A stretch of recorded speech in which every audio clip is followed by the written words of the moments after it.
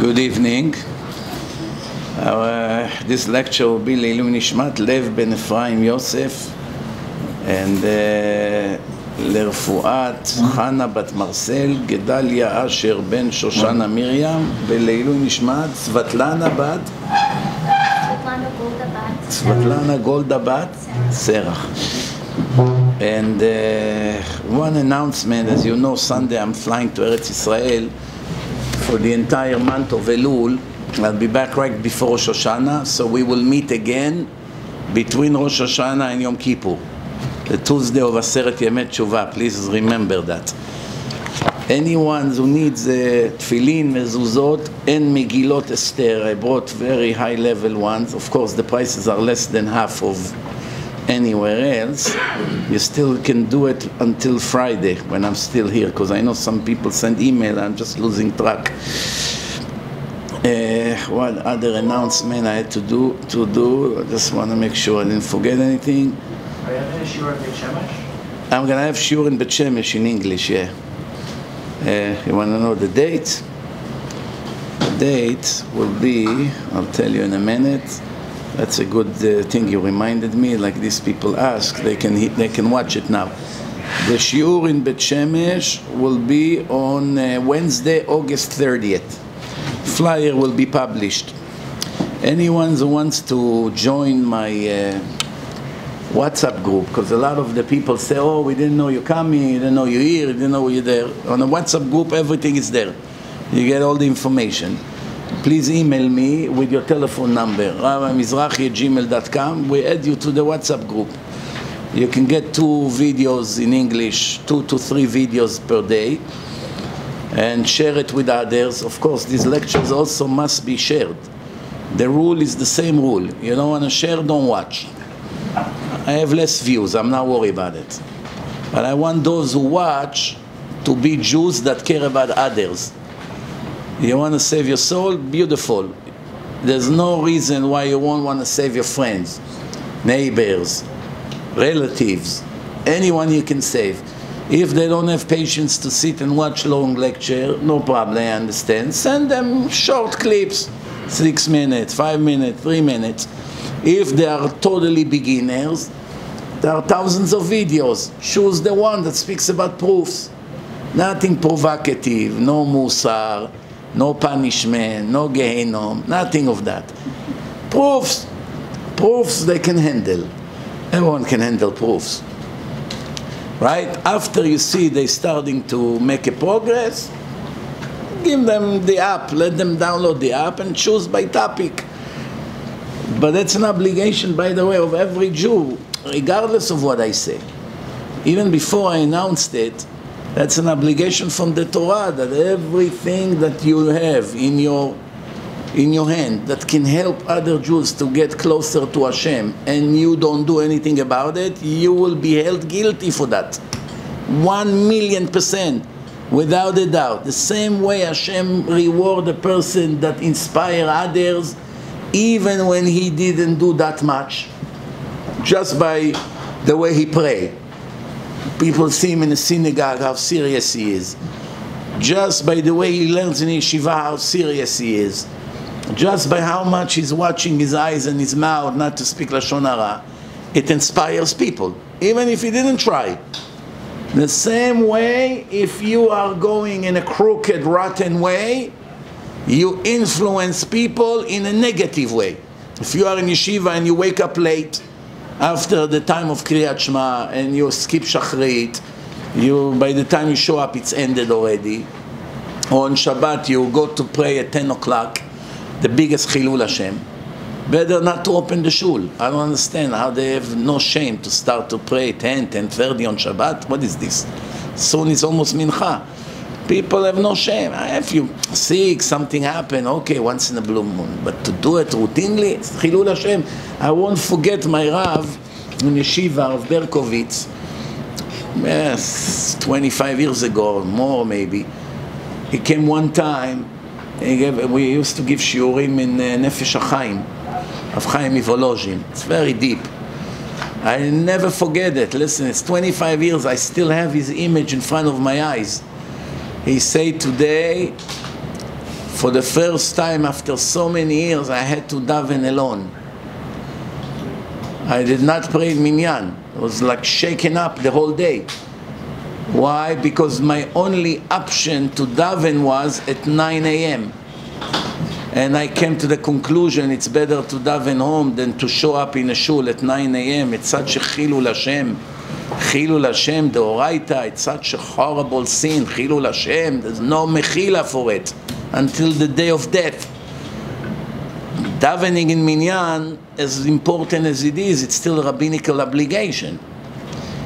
To do a chilul Hashem in order for me to gain rabbinical obligation doesn't seem to me what Hashem wants. What about Hasidim? Ask the Hasidim. Ask them. Why are you asking a Hasid. לא זכיתי להיות חסיד. The Hasidim. First of all, by the way, to say Hasidim, it's big gener- general, generalizing. Know Hasidim at 5 a.m. already in a shul, in, in Tfilat Netz, after mikveh. Thousands of them I met over the years. There are Hasidim and there are Hasidim. There are Litaim and there are Litaim. There are Sfaradim and there are Sfaradim. There are Baalei Tshuva and there are Baalei Tshuva. Everything has different levels in life. You understand? So, you know, listen. Some, some people, because they learn until very late at night, so therefore they start the day very late. But that's not smart. Better they start the day early and they finish the day a little earlier. They don't have to stand till late. It's the same amount of hours, at least there's no Chilul Hashem. The people that see you at 10 o'clock and still coming out of the synagogue, they do not know you learn until 3 a.m. By the time you went to sleep, it was 4 in the morning. They see you now coming to the synagogue at 9, after 4 hours of sleep, 5 hours of sleep. You're thinking, what a tzaddik I am, I barely sleep. But the people that sees you, 300 people that saw you today in the shul and thinking, this is a Ben Torah, is not embarrassed to show up at 9 a.m., they don't know you learn until 3 a.m. Better you go to sleep at 11, 11.30, 12, wake up early, come to the shul early, 6.30, 7, 7.30, 8 the latest. 8, it's already, that's it. It's borderline. After that, it's mamash busha.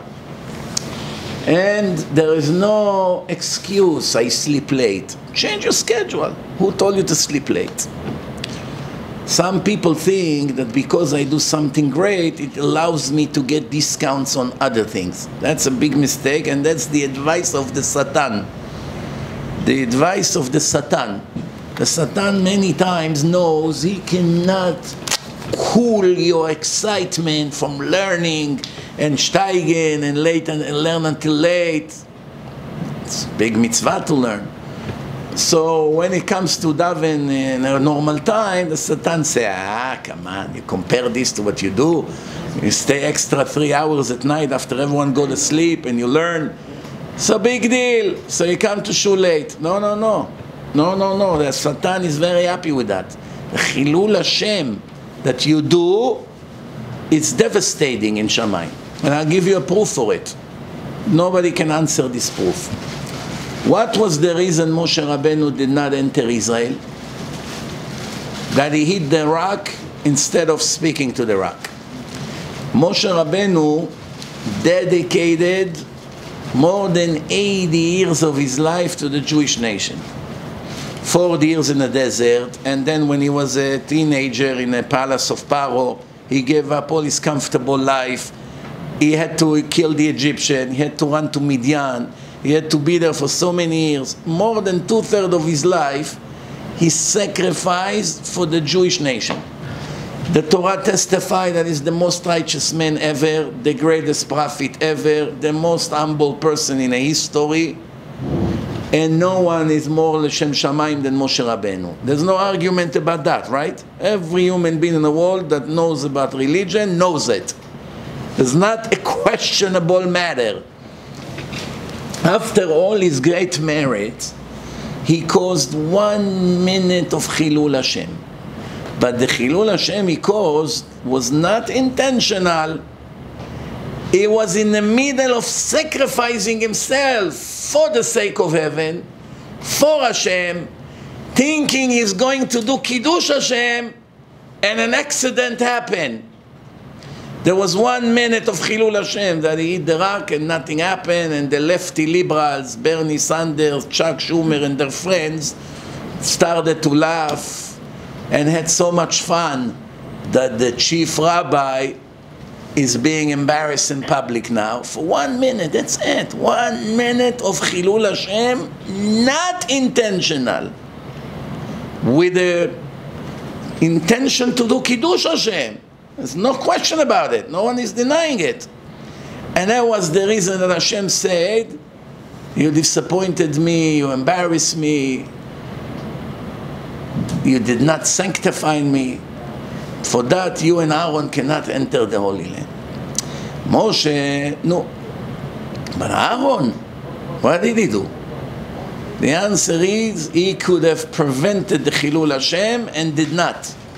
After the first shot, when he was about to eat again, he was supposed to grab his hand and say, No, what are you doing? Hashem said to speak to the rock.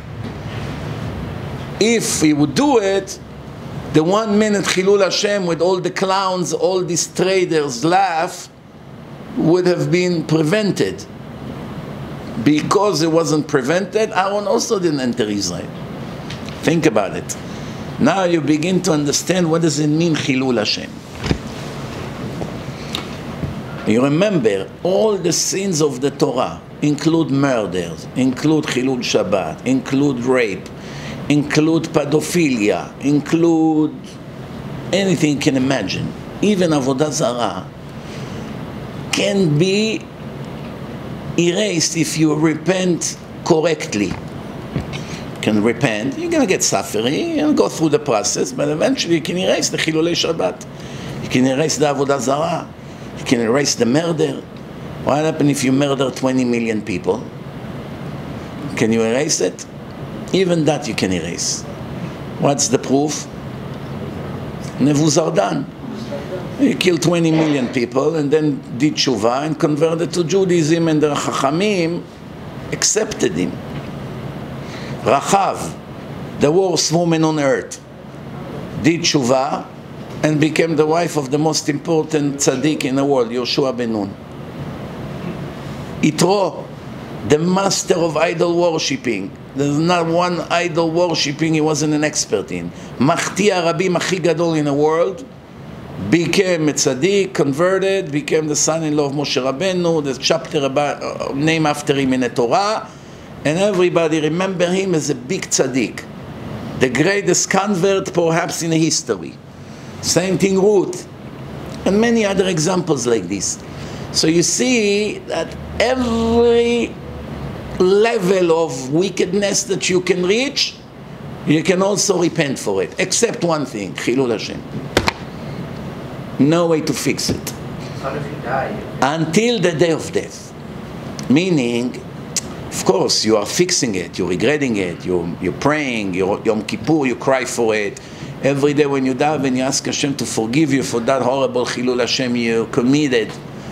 But no matter what you do, it's still in your file pending until the last day of your life. You cannot erase it from your file. You can't. Until the day of death. And the day of death, it will only be erased if you did a serious, massive tshuva for it. Meaning, if you didn't do tshuva, it will stay forever. So that's why a lot of people don't understand. They do. They want to do something good, and at the same time, they cause chilul Hashem. Just one thing, not to be confused. Sometimes people ask me, what happened when I have to argue with the wicked people who make fun at Hashem, make fun at religion, make fun at the rabbis, make fun at me, that I'm too fanatic. Maybe I belong to a cult. Maybe my rabbi is some kind of a guru. You know, these people. Clowns will always find what to say. Remember the lecture from a month ago? The clown will always find what to say. If I answer these people, I can crush them in an argument. Everybody knows that they only find excuses because they do not want to be righteous.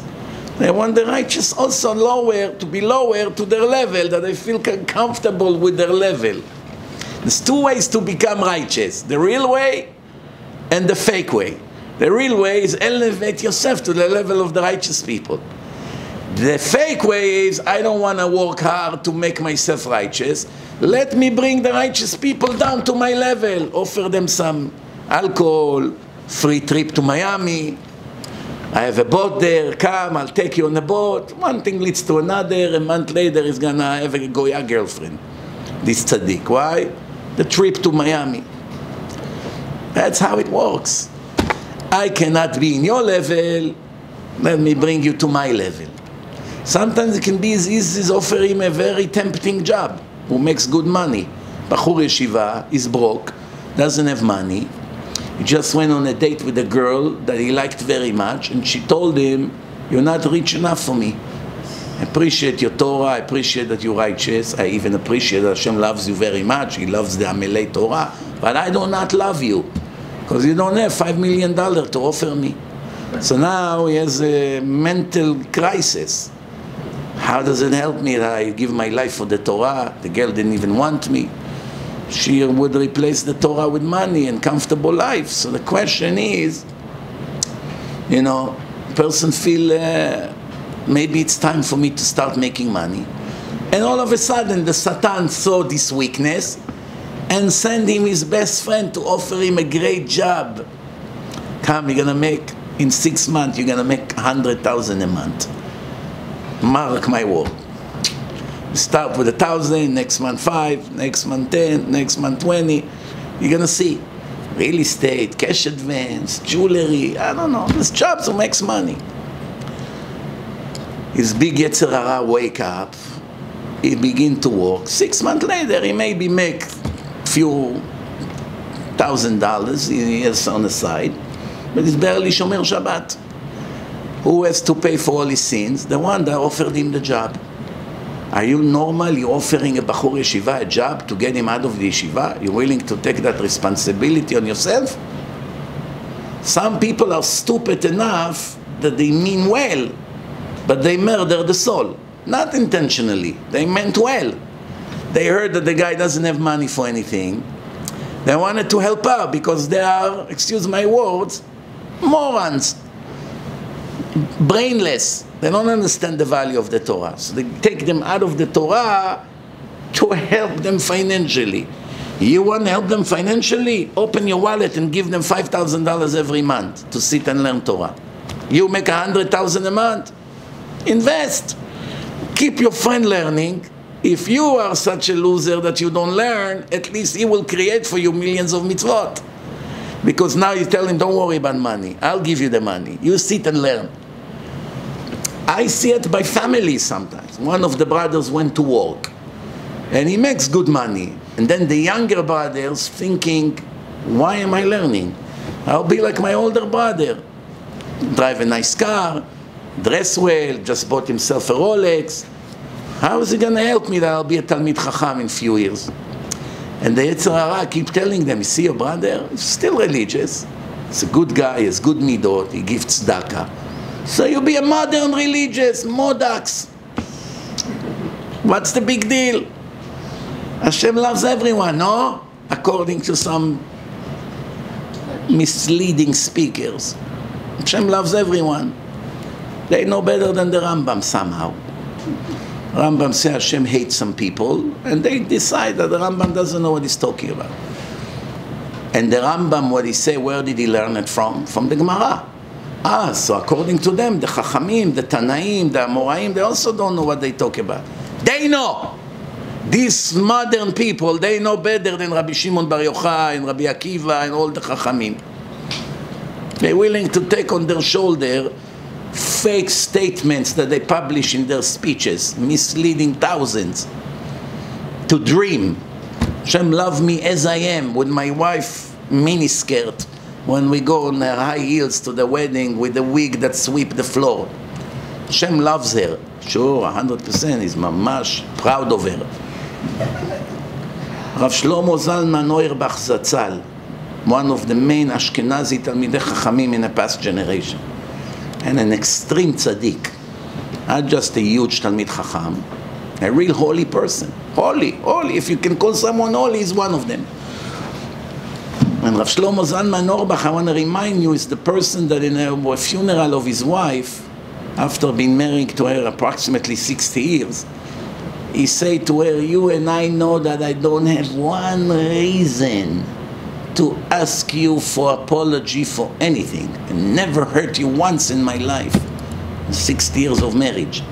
I asked the people once in a Shabbaton, who can raise his hand and say that he has one day of his life that that day he doesn't have anything to apologize to his wife about. Baruch Hashem, no one raised their hands.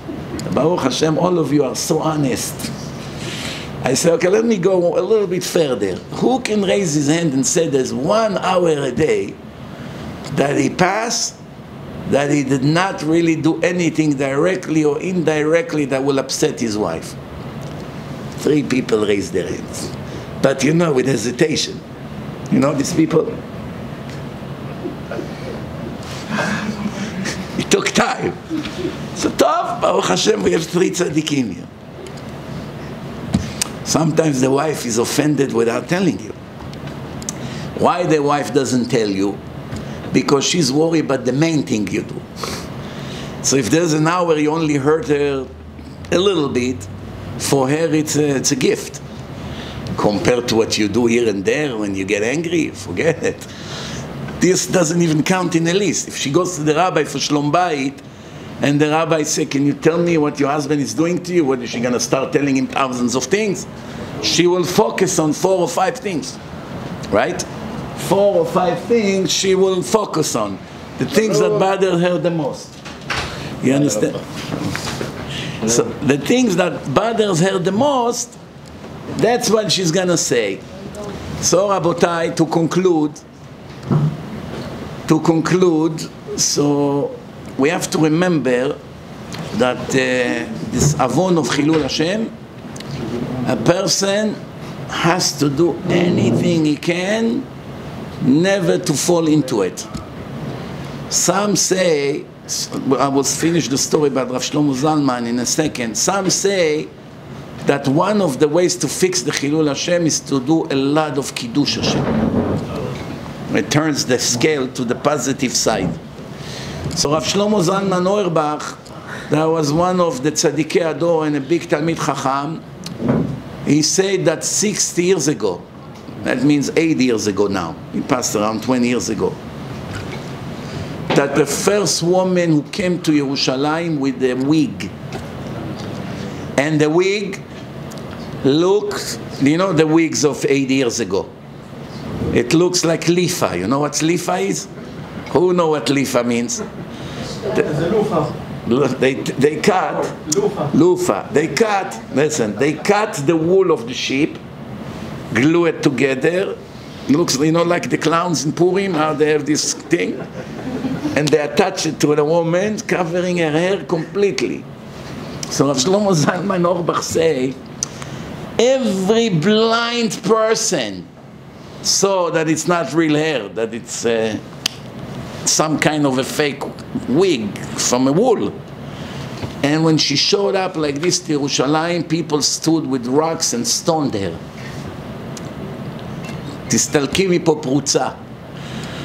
Now imagine the wigs of today. Imagine they, they, they bring them to the community with all the modox. I'm not even talking about the miniskirts and the high heels. We're not even getting there assuming there's no heels and there's no mini skirt and there's no tight things or short sleeves or sleeveless, sleeveless shirts like some religious women dress on a daily basis.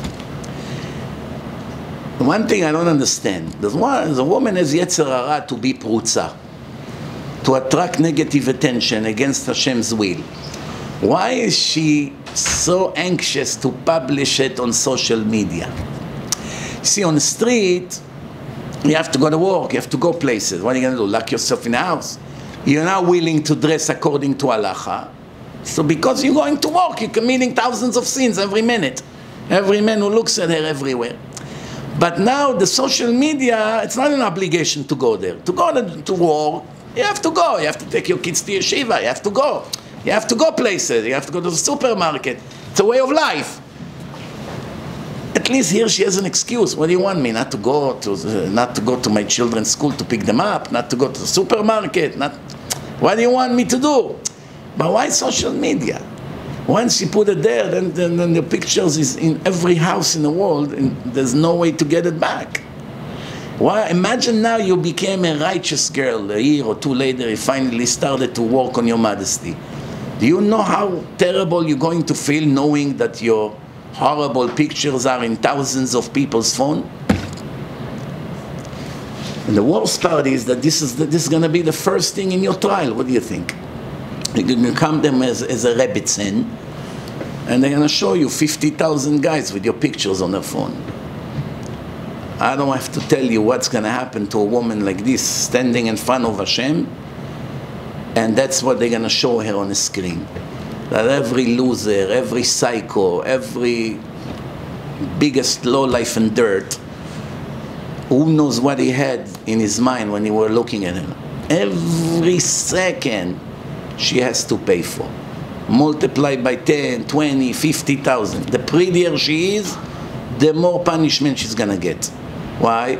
If she wasn't so pretty, not that many people would be interested in her picture. No one would download it, no one would open it. Better for her. But if a lot of people saw it, the more people saw it, the more punishment in Gehenom she will have. And that's what's going to happen whether you like it, whether you don't like it. Whether the modats, faker, tell you, oh, don't be fanatic, it's not like that, Hashem is merciful, Beloni. That's what's to happen. That's what the Gemara say, that's what the Rambam say, that's what Shulchan Aruch say, that's what every book say.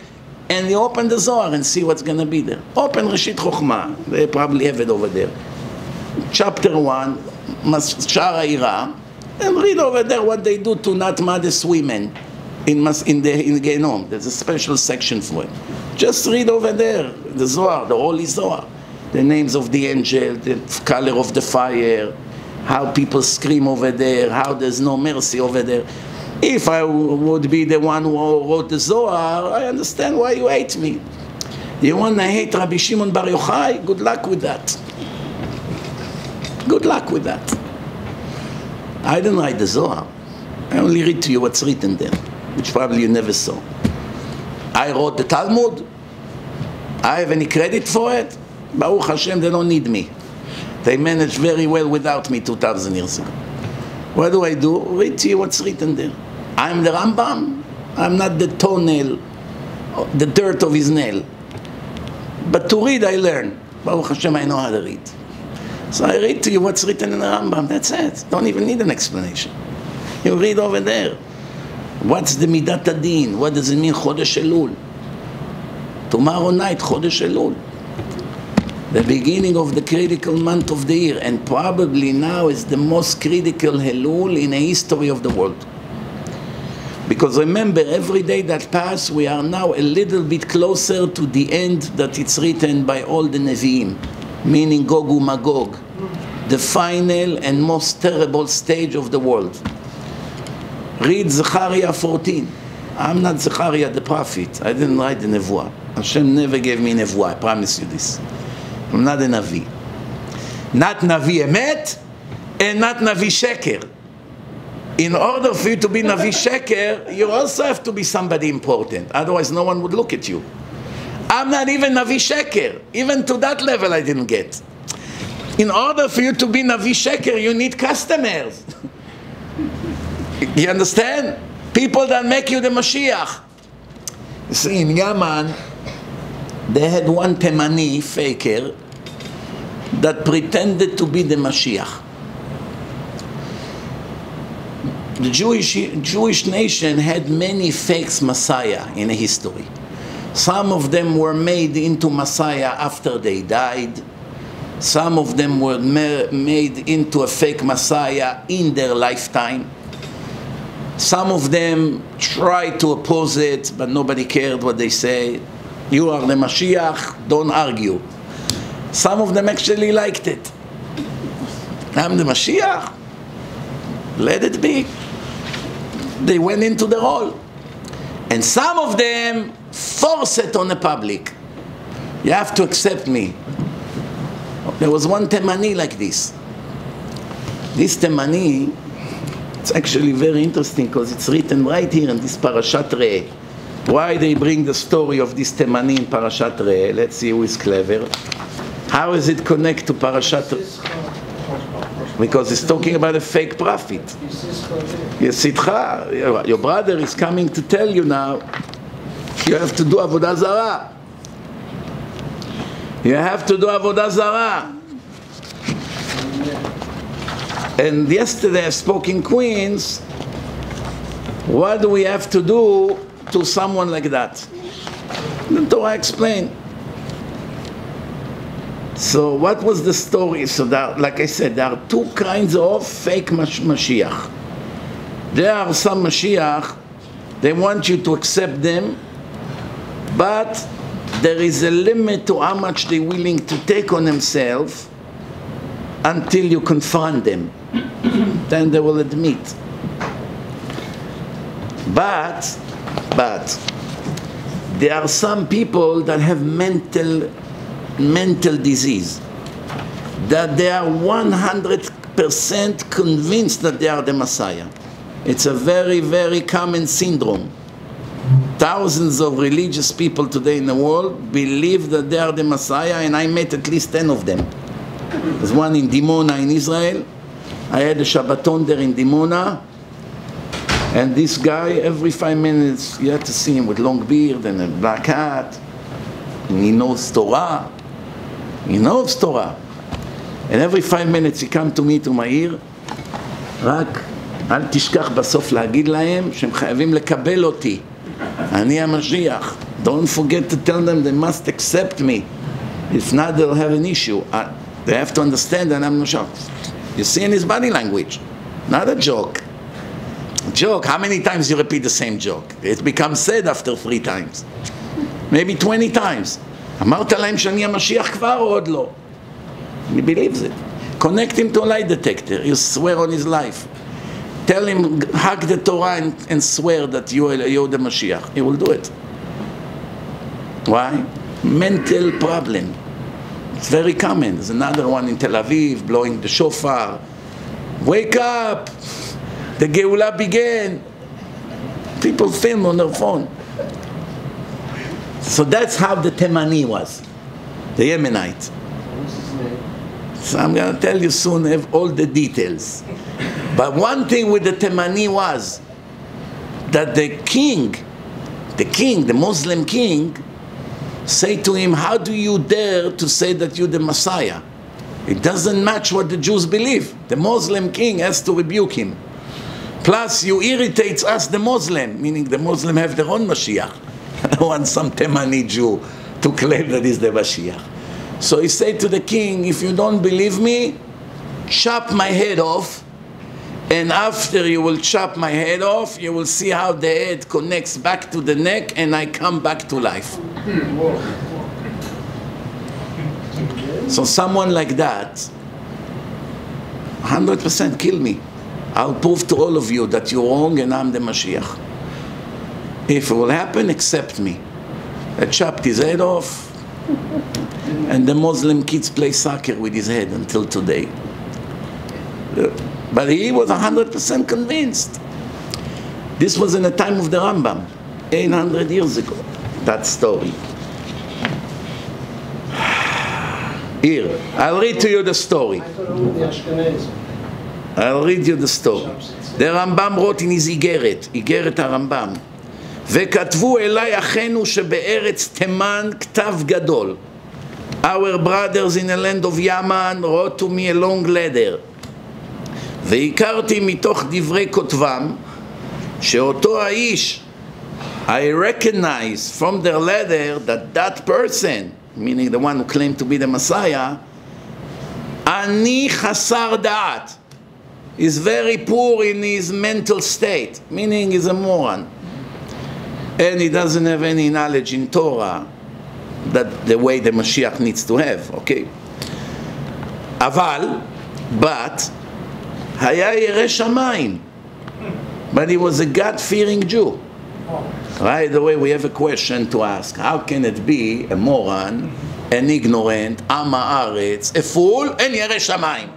The say, "En am haaretz chasid." If you don't know Torah, you can never be tzaddik. How are you going to be tzaddik if you don't know halachot, you don't know ashkafa? By the way, every person that come and say to you, what is his favorite rabbi? We are going into names, who is your favorite rabbi? Once you say the name, I will write to you 100% report who this person is in a spiritual level. Tzaddik, Rasha, real, fake, 100%. If he say to me, I admire uh, Santa, I know right away what kind of a Jew is this. I admire the clown from Englewood. Right away, I'll give you a whole report who this person is. I admire Rav Avigdor Miller Zatzal. Oh, come sit, let's talk. Ah, that's your hero? You already are welcome into my company. Why? Can't be a lover of Rav Avigdor Miller and be a Rasha. Eh, maybe you commit sins out of desire, אבל in השקפה, in searching for the truth and wanting to be a, a kosher Jew, right away you got it already. Before we even talk. I, over the years, I don't know if you remember, there used to be time that a lot of old Talmidei Chachamim used to come and speak to me after the lecture for an hour or two. Remember those days, Benji? And who were these people? Students of Rav Avigdor Miller. They would come to tell me things that they learned by him and why? You see right away. With the Ashkafa, you see right away. Everyone that was his Talmid, you see the impact of the Rav on his lifestyle. Even 20, 30 years later. You see it today. Once you have a good, kosher, legendary rabbi, even for few years, you were next to him, same thing in Israel. Everyone that was a student of Rav Ben Zion Abba Shaul Zatzal is already some kind of a legend Chacham. I met hundreds of them over the years. Immediately, you see, he was attached to a very, very special Chacham. There are many, many Chachamim, don't get me wrong, everyone כבודו במקומו מונח. But there are some extremely unique in their perfect way, extremely unique. And just give two examples, probably many more, Baruch Hashem. Lo Alman Israel. So the Rambam say, in one hand he's an ignorant, ani chasar da'at, meaning uh, totally mishugine, but at the same time he's ירא שמיים.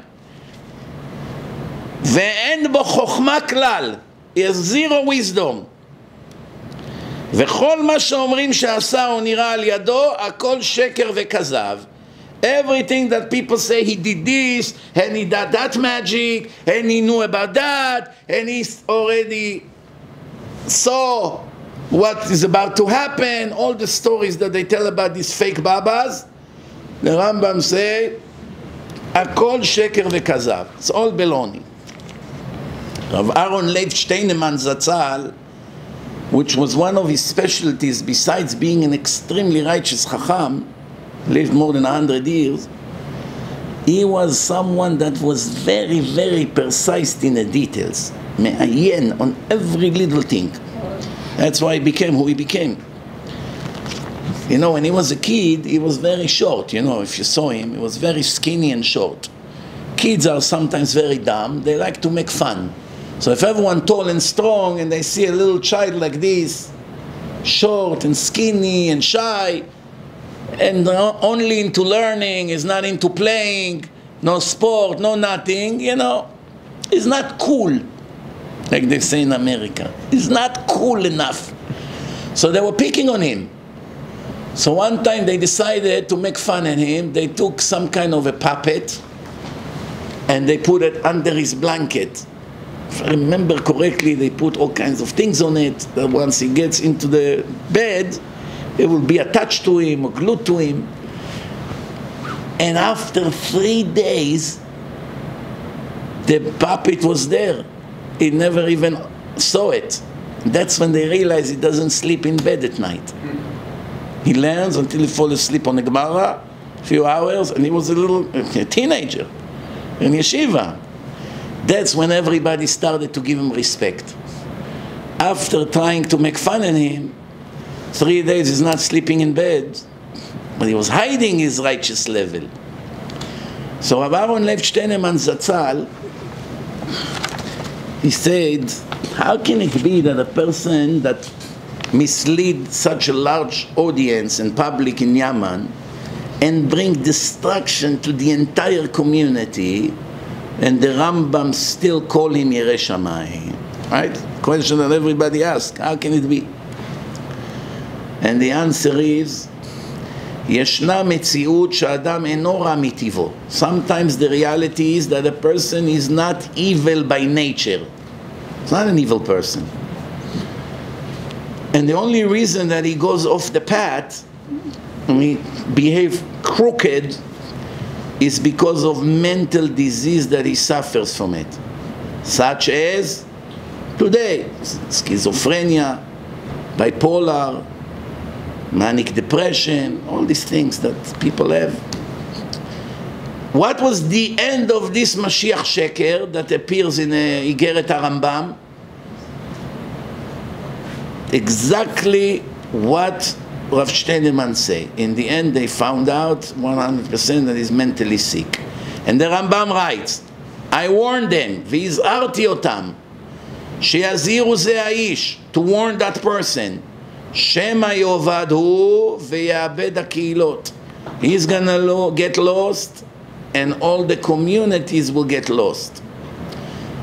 The end of the story that a year after the letter the Rambam wrote to them, to the Yemenite Jews of Yemen, 850 years ago, he was caught by the Muslims, the Muslim army over there. And everybody ran away from him. And one of the Arab kings, after he captured him, he asked him, What did you do? What do you have done? He said, Your Majesty, everything I say is the truth. I only act based on Hashem's orders. The king told him, Can you give me a sign that you're a divine prophet, Messiah, whatever? He said to him, Of course, chop my head right now. Don't be afraid. I'm giving you permission. Chop my head off, and I will come back to life just like you did nothing to me. And the king said, Don't you have a, something more normal to, to? The king didn't want to chop his head off. Don't you have something else that I can prove that you're a man of God? That the whole world will, will accept you? Meaning the king gave him a fair chance. So he said, No, that's what you have to do. So the king said, Okay, bring me a sword, chopped his head off, and and it caused a big problem to the community all over. They had to pay a lot of money. The Muslims got very angry. And that's, that's what the Rambam writes. אותו משיח שקר שהיה בתימן was not even afraid that they'll chop his head. Wasn't afraid. Why? Because it wasn't normal. He was convinced 100% that he cannot die. Or even if he die, he'll come back right back to life. What is the difference between this false Messiah to all the others? The main difference is all of them will not take any risk to jeopardize their life or their health or their freedom or their money. They love themselves very much. Chazal are bringing us in the Gemara that when they caught the false prophet, Achav ben Kulia and צדקיה ben מעשיה, הוא קודם nebuchadnezzar. This is in Masechet Sanhedrin, פרק חלק, page, page 93 in Masechet Sanhedrin. There were two fa false prophets. Their names was Achav ben Kulia, not Achav the king, and Tzidkiah ben Maasiyah. Nebuchadnezzar caught them and he say, how about you claim to be special divine people? How about we'll do the same test we did with Hananiah, Mishael, and Azariah? We threw them into the fire and they came out alive. Can we throw you also into the fire and you're going to come out alive? Then we'll talk. Obviously, you will be like them. Can we do it? They say, yes, but we need you to also throw with us Yoshua Kohen Gadol. It was one big tzaddik, real one. Yoshua Kohen Gadol. They said, they already know there are two fakers, two fake babot. So they say, imagine now two fake babot. The king say, can I throw you to the fire? He say, yeah, on one condition. Give us also the Yenuka. Put us together with him and throw us to the fire. Meaning, Hashem may, may want to uh, save us, but he wants to save the tzaddik. Thanks to him, we'll get saved. We'll hug him together. Throw us together with Yoshua Kohen Gadol. You know, later on, the false prophet, they knew that they are lying. Like Shabtai Tzvi. Shabtai Tzvi faked it to all the people in Turkey, all these areas in Europe. And what happened? When they threatened him that they're going to kill him, in one minute he converted to Islam not to get killed. How many years ago was Shabtai Tzvi Machshemo? More than 300 years. And believe it or not, until today he has followers. Can you believe it? How dumb Jews can be. How dumb. I mean, you believed in him, but once he became a Muslim, he converted his religion, you still think it's something special? An ordinary Jew, if someone come and say to him, convert your religion, say you have no share in the God of Israel, bow down to my idol, or anything like that, has to die and not to agree. If an ordinary Jew did not pass the test and bow down or denounce his Judaism or admit that he has no share anymore in the God of Israel or God forbid any one of those things, he's done. That's it, he fell. Who would believe that someone like that is still special? Especially someone that claimed to be a special rabbi. When I was in Amsterdam, I went to the synagogue on Friday night, and then on Shabbat, I saw many of the things that we pray, the Sfaradim, they skip. Berich Shemeh Demare Alma, when we take out the Torah, they don't say. Certain things that we say in Kabbalat Shabbat, they don't say. I got curious. So I went to the rabbi there. And I asked him, why you don't say this and you didn't say this? And he said, over here, we do not do anything like Kabbalah. Kabbalah is not welcome here. Why? As results of the destruction of Shabtai Tzvi Machshimo.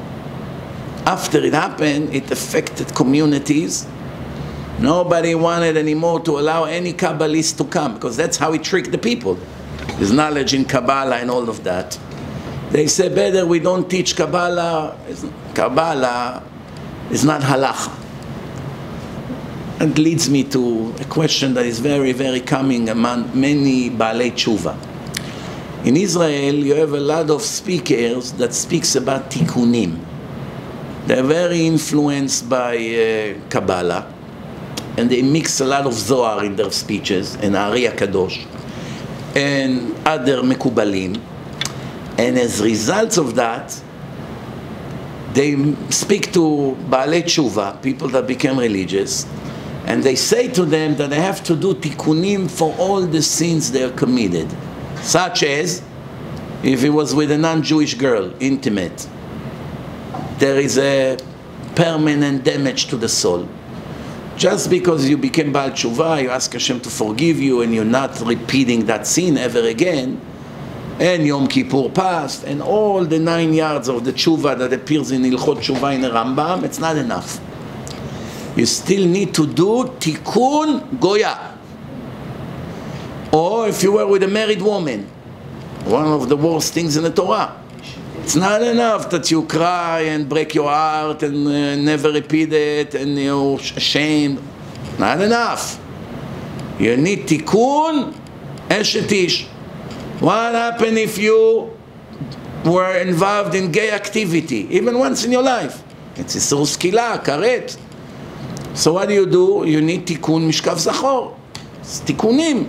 According to the Ari, the legendary holy Ari HaKadosh Zatzal, a lot of these things make a damage to the soul. So you need tikkunim.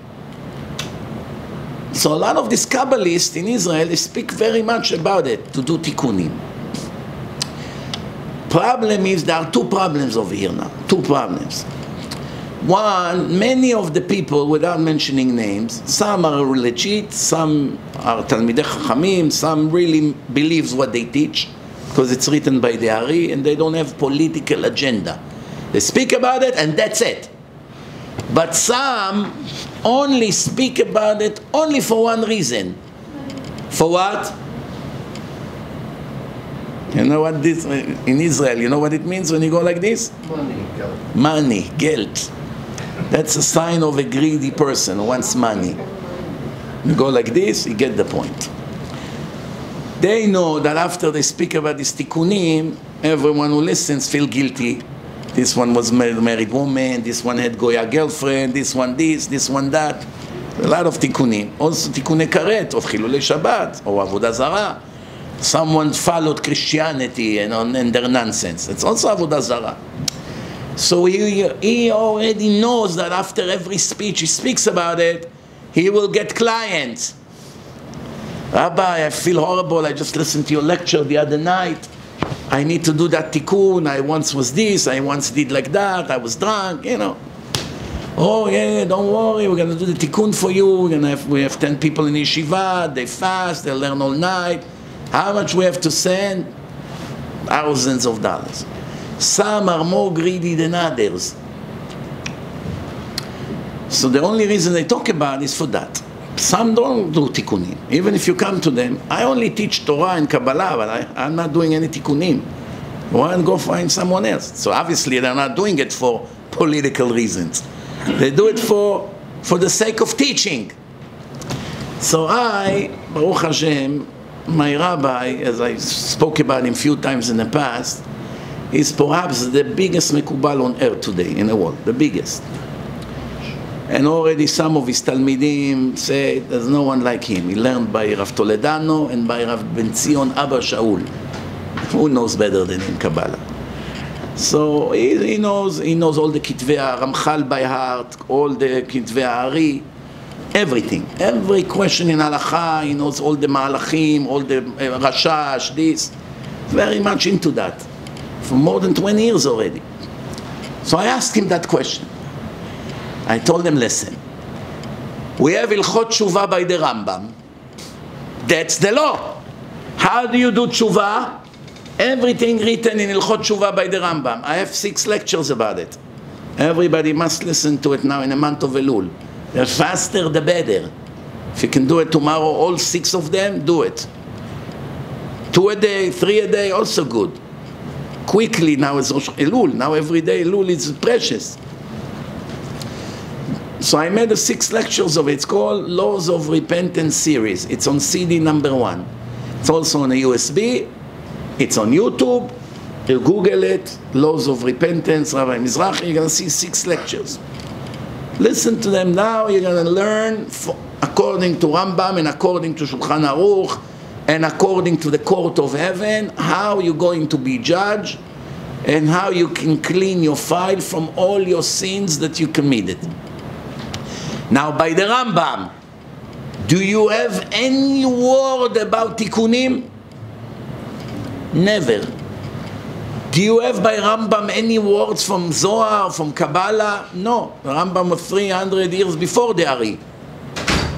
Until the Ari HaKadosh was born, Kabbalah was blocked in the world. Not that many people knew Kabbalah. They had the Ramban, they had Rabbeinu Yonah, they had some student. One day there was a rabbi, uh, De Leon, his name was, he brought the Zohar, he discovered the Zohar, but it was in the beginning, or there's not that many Kabbalists. So in the time of the Rambam, he didn't see the Zohar. Remember, the Rambam was a little bit before De Leon. Some say that the end of the Rambam's life, he already heard about the Zohar. No proof for it. One thing for sure, the Rambam does not bring any Kabbalah in his psakim. So I asked my rabbi, I told him, listen, according to those speakers that speaks according to the Ari, if you don't do this tikkunim, your tshuva is incomplete. So what's the truth? Are we judged by the Rambam only like I've been saying to people for years? Or you still need this tikkunim? Because whenever people ask me, do I need to do tikkunim, I'm always worried about the charlatans out there and the crooks that will milk them for all their money. So in advance, I tell them, when you need it, you don't need it. Just do tshuva like the Rambam. That's how we are judged. We judge according to halacha, not according to Kabbalah. So I asked him, maybe I should start tell them that besides the Ilchot Tshuva of the Rambam, they should also do tikkunim.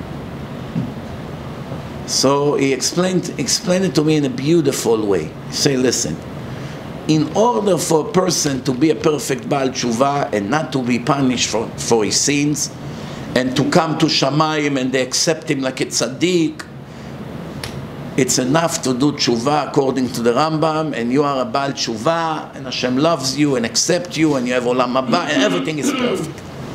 However, the damage that was done to the soul from all these horrible sins, Eshetish, Gay, Goya, and some others, the damage, the impression remains. No one is holding you guilty for that because they know you did tshuva.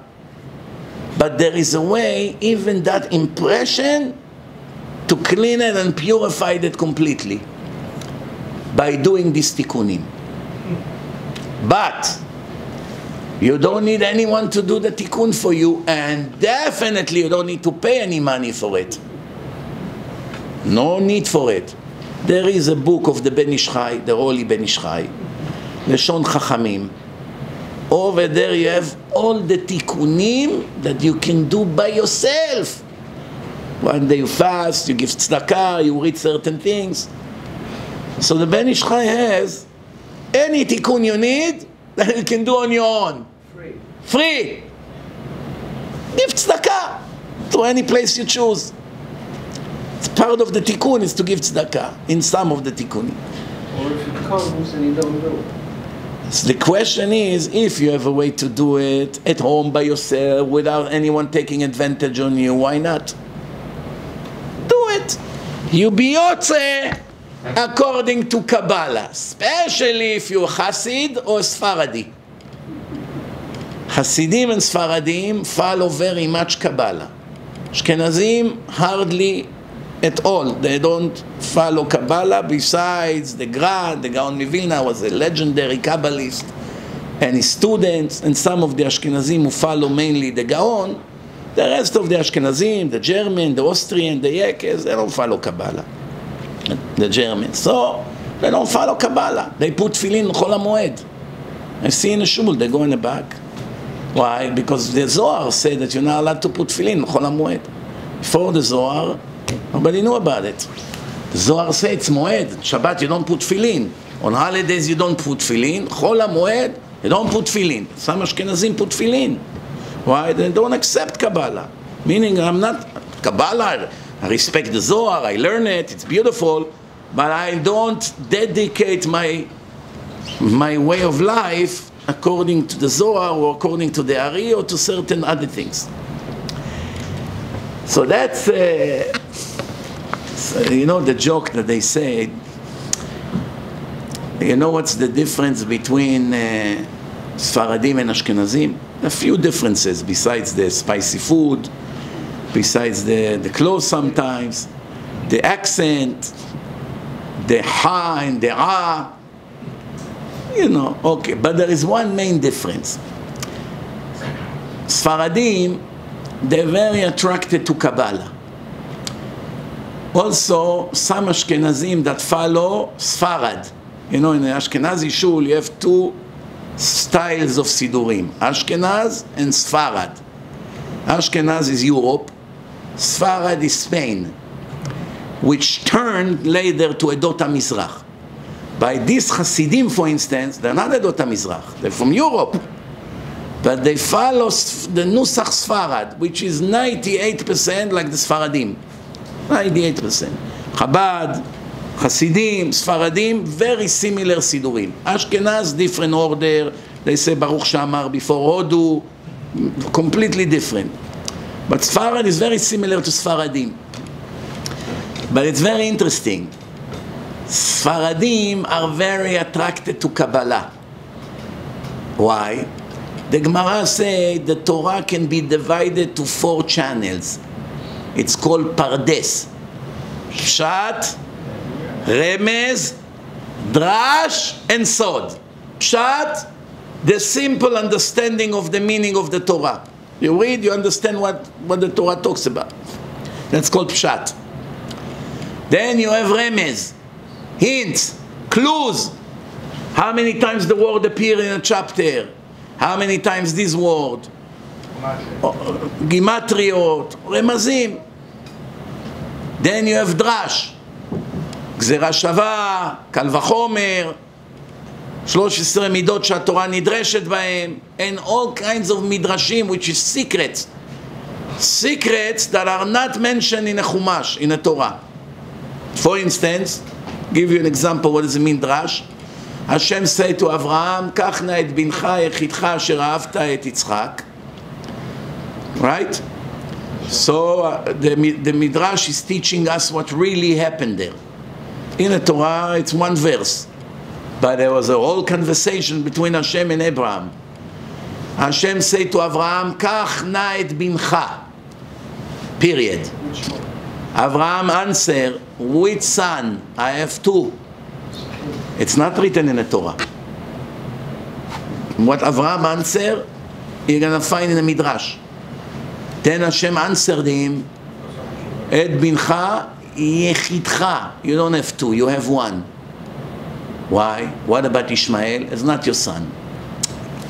He's your biological son, but he's not your main son. That means it doesn't count. Et yechidcha, your only son.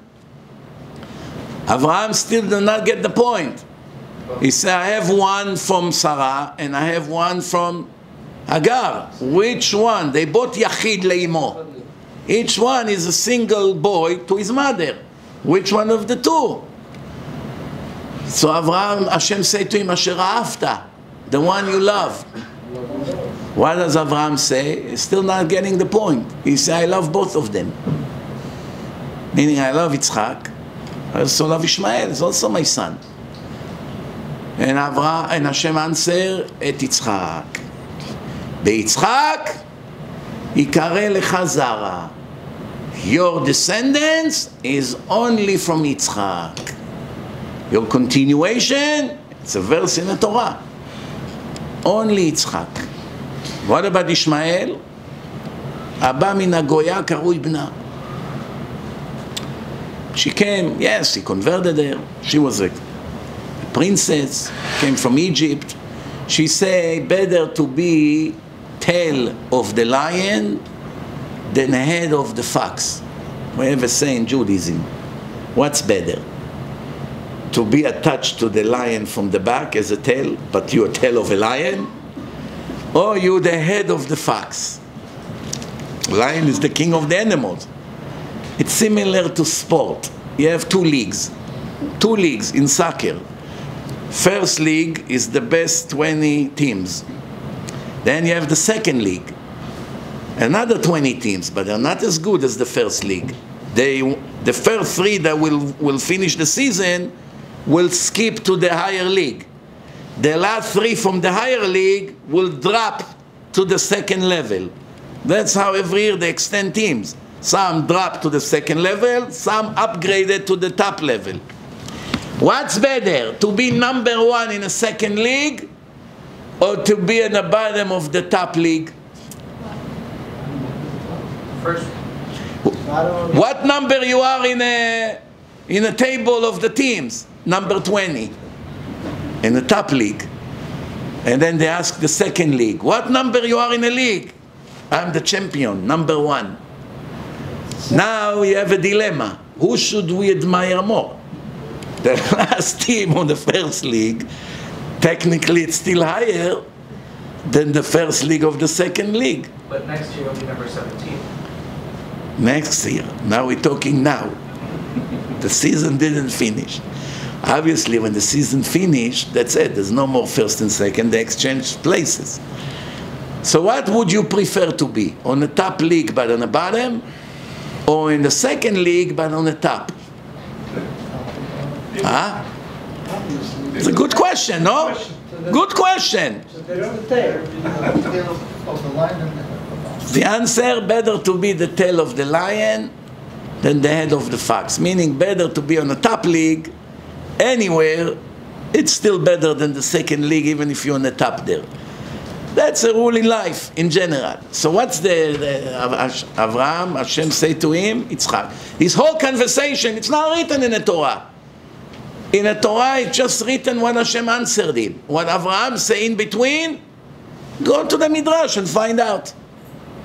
That's called drash. So we have pshat, remez, drash, and sod. Sod is what we call Kabbalah, the mystical part of Judaism, the secrets. What happened in the spiritual world? There are four words: Atzilut, Bria, Yetzira, Asiya. Remember, Abia, Aleph, Bet, Yud, Ayin. Atzilut, that's where כיסא הכבוד, that's where all the srafim, the malachim. Then Bria, Yetzira, Asiya. It's a lot of the secrets of Kabbalah. That's called Sod. Sod means secret. Every Sfaradi who become Baal Tshuva, two weeks is religious. Two weeks. He kept two Shabbos. Still doesn't know Aleph Bet of Halachot. Doesn't know how to do Netilat Yadayim in the morning correctly. Right away he comes to yeshiva. Can we learn Sod? Can we learn Kabbalah? That's what it is. Farad.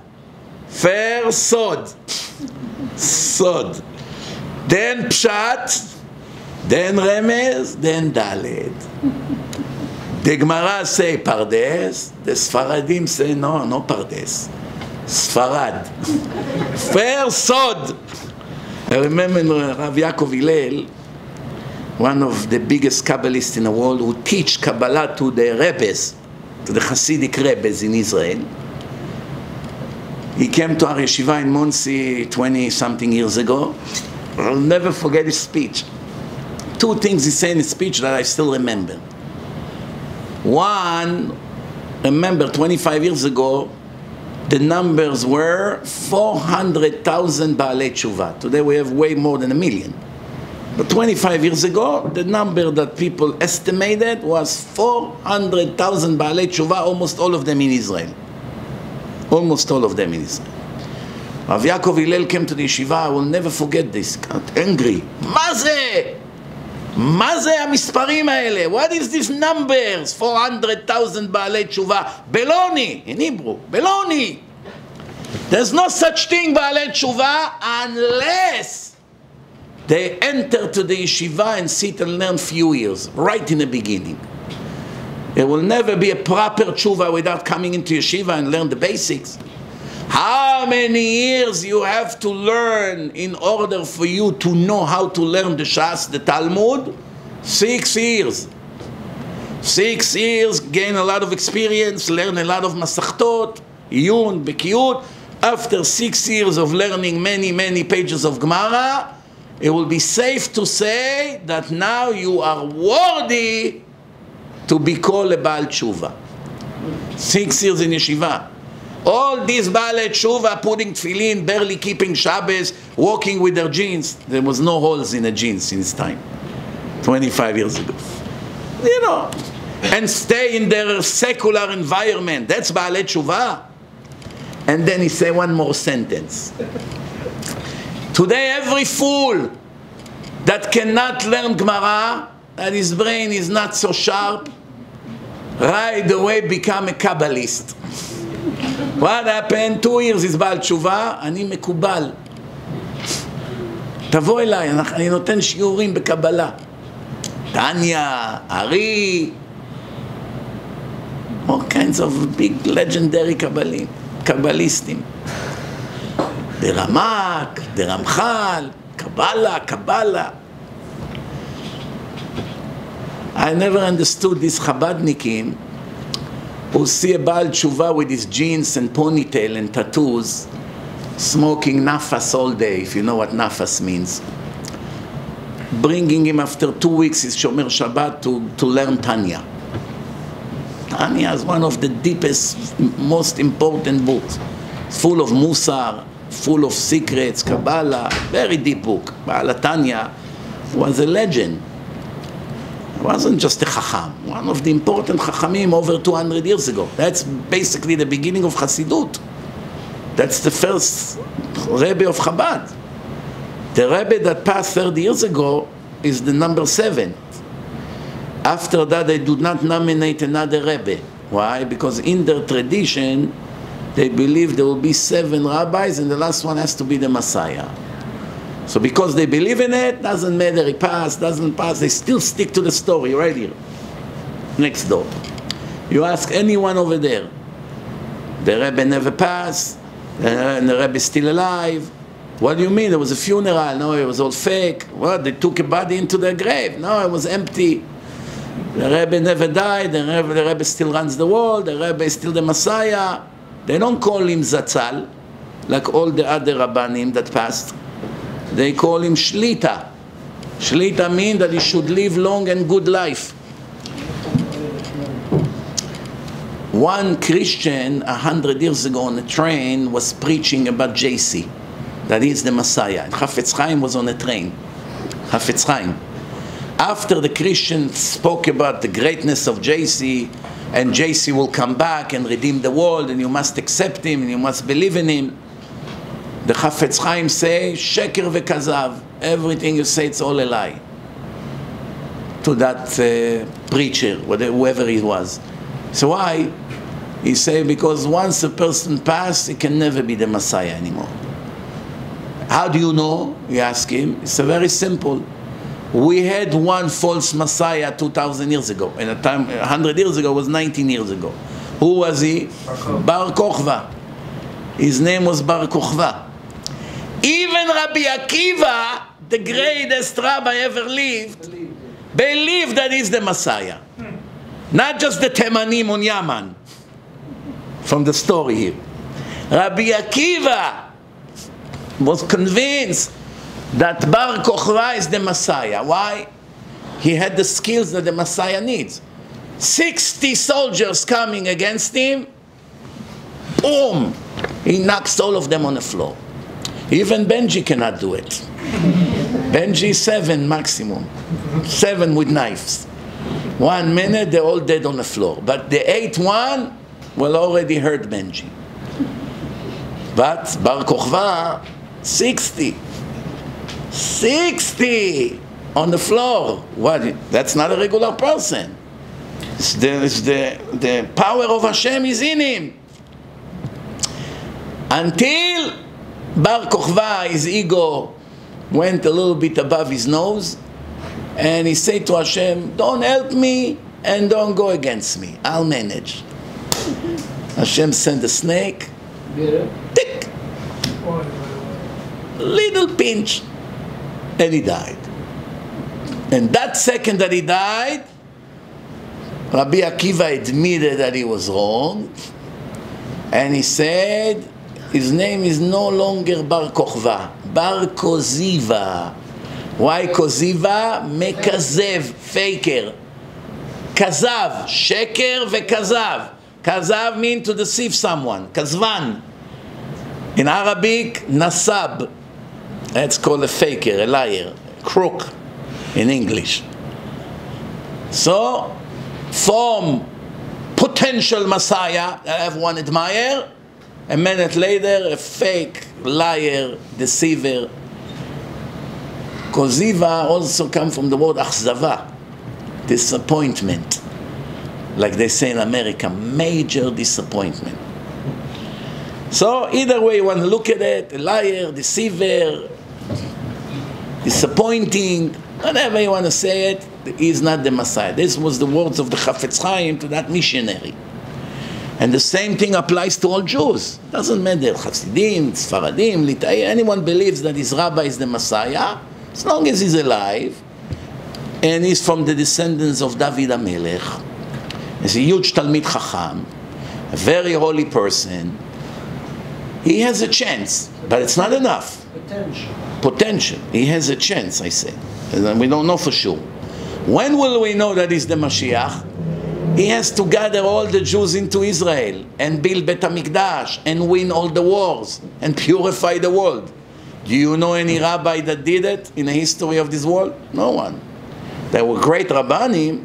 Maybe some of them were potentially ready to become the Messiah. There's some midrash that he has to have a son, and the son will be with him together, and he has to be in Eretz Israel.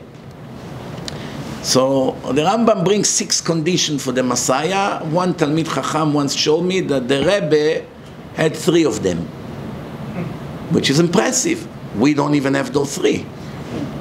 But three, it's not enough. You need the whole six. What is it like when you go to your bank, you have six-digit password, but you remember only three? I can't get your money. you only remember three. What about the other three? Can't get there. Definitely, Rabotai, one of the things that convinced so many of the Hasidim of the Rebbe, because he was extra- extraordinary. He made a, a, a network of kiruv all over the world, thousands of synagogues, places that Jews cannot find anything, no mikveh, no kosher food. I remember I was in some of the countries where you're gonna get kosher food. The answer will always be Chabad. Go here, go there, Hong Kong, everywhere you go, China. So, obviously, how many people in, in our generation, for sure, that were able to keep pushing, kiruf, kiruf, kiruf, kiruf, kiruf. When you do such an extraordinary work in a short lifetime, 90 years of life, some people would need maybe 900 years to establish so much. So that's uh, out of admiration. Many people ignore the details that are written by the Rambam and the other poskim. I always tell people there's no problem admiring your rabbi. There's no problem thinking your rabbi is the best in the world, or the biggest chacham, or he has potential to be the Mashiach. Whatever you want to think about him, as long as it's a tzaddik, holy person, follower of Hashem, has yirat shamayim, and made a lot of people closer to Hashem, is definitely more than worthy. But you have to know when not to cross the red line. Chas v'shalom, some people in our generation, they already crossed that red line. And they took their holy rabbi and turned him into a god. I will never forget, 25, 26 years ago, Rabbi Aderet, now he's in Great Neck, he used to be in Monsey. He had a shul in Monsey. The shul is still there. Now a Hasidic rabbi bought the place with the shul, and he runs the, the minyan. He came to the shul with an American newspaper. I don't remember what it was, New York Post, one of those newspapers.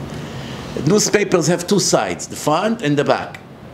Both of them are the main pages, because that's the first thing people see before they begin to open the news. This you see it on a, on a newsstand and there was a big picture of the Rebbe, and what was the headline? Listen carefully. I saw it in my own eyes. I'm not telling you someone told me a story. Ra- Rabbi Aderet almost fainted. Almost fainted. And I saw how his hands were shaking. He said to, to the people, look what's going on today, look. The headline was, the Lubavitcher Rebbe is God and more. I wonder who is this person that put that headline over there. I wish I can meet him face to face.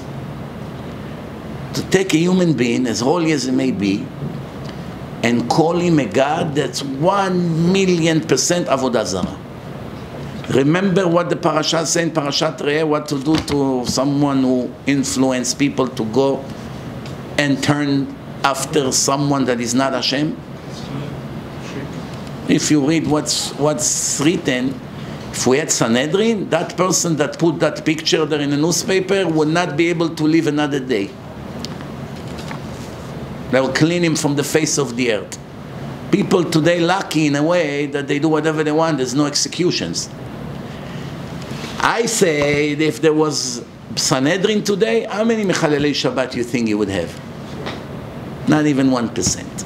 And all of them would do it hiddenly, in private rooms. No one will dare to be seen in public Mechalel Shabbat. Because that's it, tomorrow you'll be dead. They'll execute you. Now there's no, supposedly no immediate punishment, and people forget about it, and they just make it a way of life. Let's learn a little bit some of the things we have to elaborate that we read on Shabbat and we don't pay attention to. You know, the parasha begins, ראה אנוכי נותן לפניכם היום ברכה וקללה. I'm giving you today curse, a blessing and a curse. Some people think some things in life is blessing, some things in life it's a curse. And the answer is everything in life is a blessing and a curse at the same time. The question is what you're going to make out of it. To have a pen, it's a blessing or a curse? A huge blessing. In the old days, they needed a feather with ink. You know how difficult it would be to write? So if you have a, a little pilot pen that costs a dollar, if you are a chacham full of Torah knowledge and you don't have a pen, what are we going to do with your knowledge? No one will ever know about it. You die and take it with you to the next world. Chazal say, Talmid Chacham that does not teach from his Torah is like a hadas in the middle of the desert. You know hadas? The best smell. Hadasim of, of Sukkot, Arbat Aminim. Smells like heaven. Hadasim, you can use it in B'samim. What good is that that we have Hadas in the middle of the Sahara Desert? Once every six months, one Arab with a camel pass by. No, will he be able to smell the Hadas? Hadas, you need a place that every five seconds someone come and smell. Million people smell it in one day and the smell is still there. The more you smell it, it doesn't take away from the smell. It's unbelievable. It's something that you, you see how you know smell it's a spiritual thing. No matter how much you smell it, smelling it does not take away the smell. Leave it for, for a while, it's going to get dry and, and there's not going to be any more smell. But if a thousand people smell it or a hundred people smell it, the smell will remain the same after. Same thing fire. נר לאחד, נר למאה. Candle, one candle, you can make from one candle a hundred. All you have to do is to take and split. Does it decrease the fire of the candle? Fire can be divided like a soul. Soul can be divided to a thousand bodies, the say. Soul can be at the same generation in few bodies. Lakain came back in two bodies. One body was the Egyptian that Moshe killed, and at the same time, the other part of the soul was in the body of Itro. Itro and the Egyptian were in the world at the same time. After Moshe killed the Egyptian, he ran to Itro. The Egyptian and Itro, both of them are Cain. From here, I got an unbelievable idea.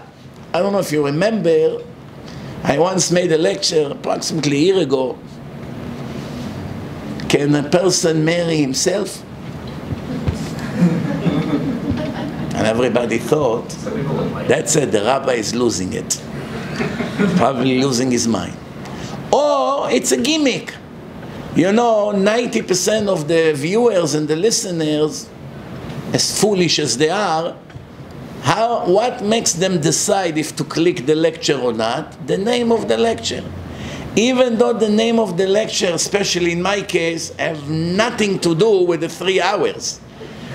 I will choose from 500 things that I mentioned in the three hours. I have to call the lecture somehow by a name.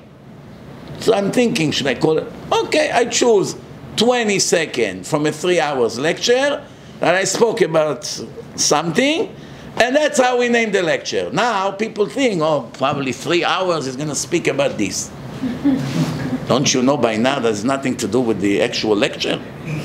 So the name decide if the lecture will have 30,000 view or 20 or 10 or 7. The name. How dumb you can be! It is what it is. No, nobody used the red.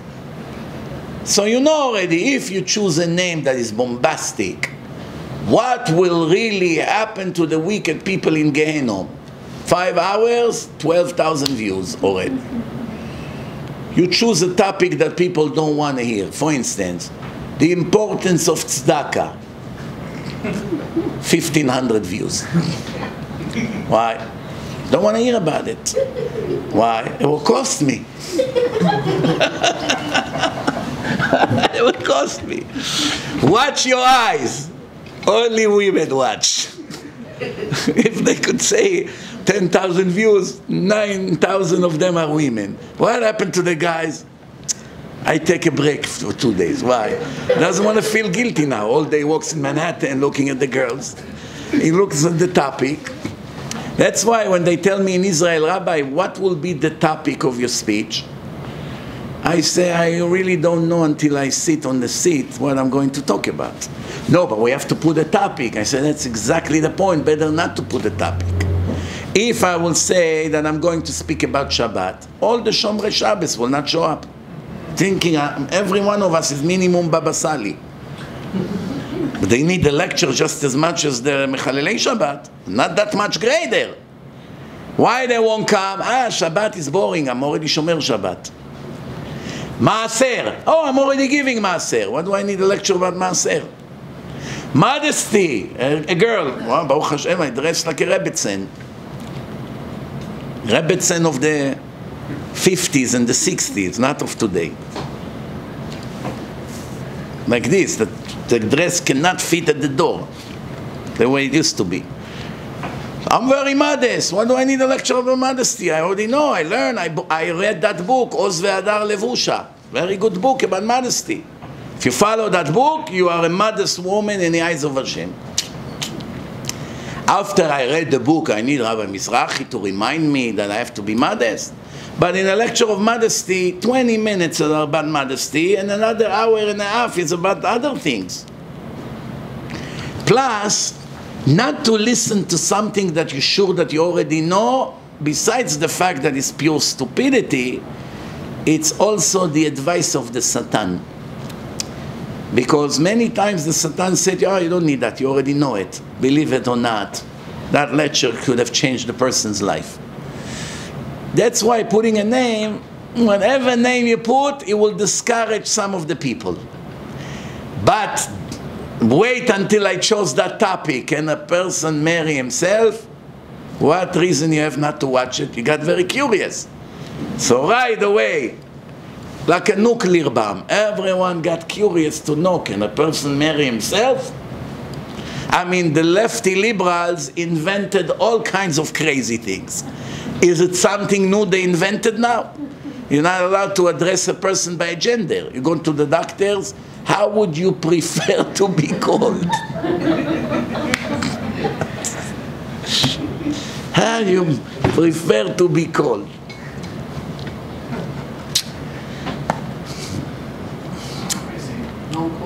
So, Rabotai, how does a person marry himself? Very simple. Mr. X died, Hashem sent him back to the world in two bodies. One body we will call him Yosef, the other body we will call her Miriam. a soul of, of, uh, of Reuven split into two bodies, Yosef and Miriam. They meet each other on a date. They like each other and they get married. Here is a perfect example how a person married himself. Remember, it's the soul of Reuven. Both bodies. Reuven married Reuven. Here you go. The best part is that they keep fighting with each other all the time. And when they die, they tell them, You fool, you've been fighting with yourself. What do you have, split personality? Imagine a person sit on a bench. I want to go swim today. No, I don't want to go to swim. There are other things to do today. Come on, I'm hot. Let me swim five minutes. No, no swimming today. Right away, do you say that he has split personality. split personality is not schizophrenia like some people think. Some people mix between these two mental diseases. S- split uh, personality, they have a name for it. Mr. Uh, Dr. Uh, Jekyll, Jekyll, what's the name of it? Dr. Jekyll. uh, Huh? Jekyll and Hyde. Jack, Dr. Jekyll and Mr. Hyde? Hyde. Mr. Hyde. No. Who is the Mister and who's the Doctor? Dr. Jekyll and Mr. Hyde. Okay, as I was right. I guess, by the way. I didn't remember. They don't say, Dr. Jekyll. they say Jekyll and Hyde. Dr. J used to be a basketball player. Dr. J, remember it. Dr. J, before you were born. So, is a person that have two people in him. By the way, when one of them decide to murder, and now when you speak to him when he's on a different personality, connect him to a lie detector, and he has no recollection of killing someone. It's mamash like two different people living in one body. You Connect him to a lie detector. And he say, I was here, I was there, and he can tell you everything, and you're 100% convinced. You know, I want to ask you a question. When you hypnotize a person, you get information from his soul, from his subconscious. So one person once said, I went to a school to learn how to hypnotize people. I can basically in 10, 20 minutes tell every person who used to be in his past life. All I have to do is to hypnotize you, you lose conscious, and I begin to withdraw information from your subconscious, speaking directly to your soul. There's only one problem. The day that they thought how to get you out of the hypnotized mode, I didn't show up. I didn't come. So if I hypnotize you, you'll be like that forever. How are you going to get him out of it? It's unbelievable. This hypnosis is one of the most unbelievable things. While you speak to a person, you discover who he was in past life, and he speaks to you in foreign languages that right now he doesn't know in this life. He begins to speak in sometimes ancient languages. They hypnotized one person, he spoke in ancient Dutch from over a thousand years ago. They needed to bring experts of languages from the university to translate the words of the recordings because no one said these words already for thousand years in the world. In the middle of, uh, there was one parapsychologist that hypnotized his wife because she was suffering from some issues. In the middle of the hypnosis, a voice of a man came out of her throat, speaking in a language that no one understood. No one. Until they found one specialist that his major is ancient Egyptian, like the time of Paro, to translate what the men say from her mouth. And what did he say? That he's a carpenter that made the image of an eagle to put on the grave of Paro. And nine months after that, they found in archaeological digging, they found that tablet with the image of the eagle. He found it. So yeah, you should watch my uh, my film, Life After Death. All these mystical things in one film. People remember their past life, people that were hypnotized, what happened, uh, unbelievable things. There are people that do remember their past life without hypnosis. Many Arabs, Druzim in Israel, kids, he comes and tell you exactly who he was and how he died.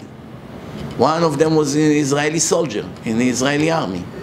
He, no, no, no. He was a shepherd on the Golan Heights. And he found a grenade. He didn't know what it is. He was a kid. Exploded in his face and killed him. So he remembered how he died. He remembered his past life. And he said to his teacher in school, I was a shepherd. I had sheep. I used to take them out to eat. I remember even where I hide my flute. And the teacher say, yes, can you take me there? Say, yeah, let's go. He took him to some place, there was some kind of a shed. On a, I hid it on the top. I climb on a ladder. My flute is on the top. I said, okay, let's climb. They climbed, they saw a flute full of dust from few years ago when he was a different person. Then if you remember my film uh, that I showed the Arab kid that was an Israeli soldier in Lebanon, the building in Tzor, 71 Israeli soldiers died. It was one of the biggest tragedy in the history of the army. They all died in Lebanon. And this Arab, Arab soldier, he was 37 years old. The building fell on his head when he died. He was buried there alive. And he came back as a kid who remember his name. What was his name? Az. Az, Az, Az, Az. All the time he used to say Az. He's three years old. Three years old. Az, Az. They do not know who's Az. They took him to psychologists, this, that. The woman, she was a French psychologist, French Jew, that made Aliyah to Israel. She said, I examined the boy. He's perfectly normal, smart, doing good in school, even have some girlfriends. That's what makes him normal. Seven years old, have girlfriends. You know? That's the mind of these liberals. So what happened? He described how he died later on. And he said to his father, take me to visit my wife. Seven years old. Imagine you have a son. Abba, I need a favor. Right? There is a village over here, 10 minutes driving. I want you to drive me. I'll show you the way. Seven years old. Where you want to go? To visit my wife. Your wife? Yes. Fatma. I miss her. Seven years old. They took a video camera. See, by the Druzim, it's not out of the ordinary. They are very much aware of reincarnation. So even though it sounds strange, the father probably got the point that he's talking about reincarnation. So they come to the house of this Fatma. How old is she? 44. When her husband died, she was 37 and he was 37. But seven years passed. He was reincarnated now and now he's seven years old in his new life. She continued to live. So now she is 44. You can see it on the video. They knock on the door. She opened the door in Arabic. Ah, kif halak. كيف حالك يا فاطمة أنا بحبك Who are you? مجنون Get out of here He said I'm your husband Adel My husband Adel Is this a joke? No, no, don't hang up. See a very religious woman, cover her hair. There's no modox by the Arabs. by them, modesty, you have to be modest, that's it. So what happened? He goes inside and they begin to talk about their life together. He was a volleyball player. That was his hobby. They took him to the play. This is my team. I was playing here. He's seven years old.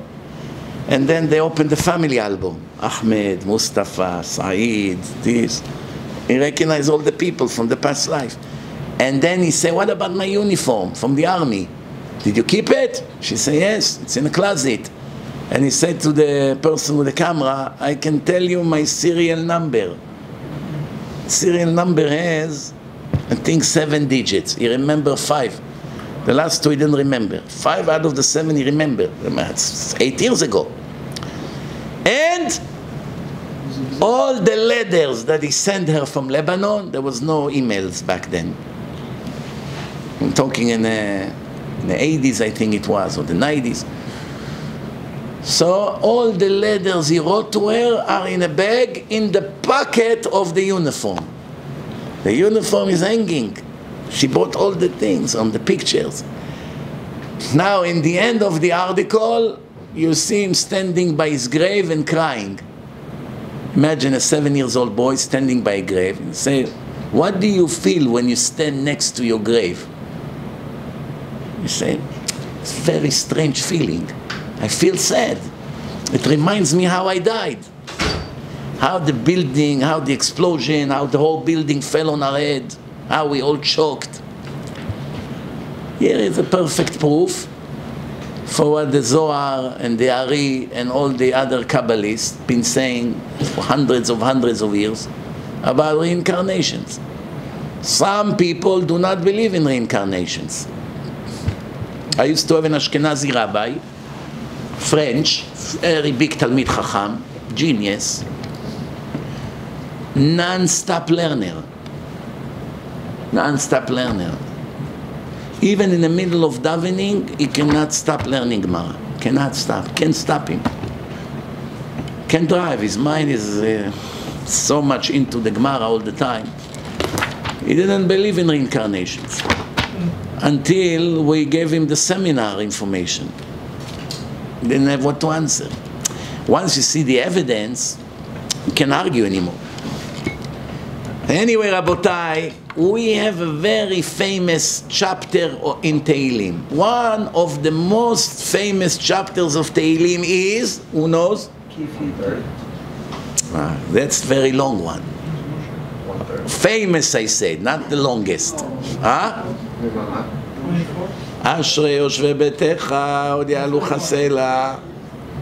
In Tehillim, you don't have אשרי יושבי ביתך, עוד יעלו חסלה. You have it in a different מזמור. אשרי יושבי ביתך, עוד יעלו חסלה, אשרי אדם עוז לו בך, מסילות בלבבם, עוברי בעמק הבכה, מעיין ישיתו. But that's not what's written here. תהילה לדוד, ארוממך אלוהי המלך, starts with תהילה לדוד. But Chazal added one more verse before the Mizmor in the Tfilah. When we daven Shachrit and Mincha, how do we start? In Mincha, how do we start? Before 18. אשרי יושבי ביתך, אשרי יושבי ביתך. But תהילה לדוד doesn't have אשרי יושבי ביתך. They took a pasuk from a different Mizmor. The question is why? They normally don't do it. Take one pasuk from another mizmor and attach it in the beginning of another mizmor. Many people who don't read Tehillim and they only daven, they are 100% convinced that that's how that's the way it's written in Tehillim. אשרי יושבי ביתך עוד יעלו חסלה, אשרי העם שככה לו, אשרי העם שהשם אלוהיו, תהילה לדוד. But in Tehillim it starts from תהילה לדוד.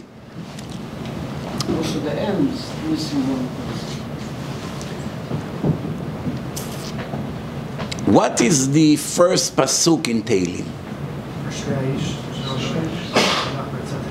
The first word in Tehillim is Ashrei. it reminds me about a good joke. You know, in Israel, you have all kinds of people work in the gas stations, right? And most of them usually are not religious, and definitely none of them knows Torah. Those are Me'aratzot, work in a gas station. Now in Israel, how do you say credit card? Ashray. When you go to the gas station, they ask you, Mezuman or Ashray? So one Breslev Hasid, he came to the gas station. So he said to the guy that works in the gas station, it was a cold day, freezing, he said, Ashrecha! so the guy, so the, the, no, the, the, the guy from the gas station said to the Hasid, Ashray? He said, Ashrecha! זה אשראי, credit card. The guy said, באמת, אשריך. אשראי means how lucky I am. It also means credit card, but he doesn't get the point. What does it mean, אשריך? Doesn't know. טוב. Anyway, what's the first pasuk in תהילים? אשרי האיש אשר לא הלך בעצת רשעים ובדרך חטאים לא עמד ובמושב לצים לא ישב. Three things. Three things. Did not follow the way of the רשעים, did not stood in the place of the רשעים, and did not sit with the רשעים, meaning the לצים. Why David HaMelech start his legendary book of Tehillim with this pasuk? Because when you open your book, you have to make a very strong statement.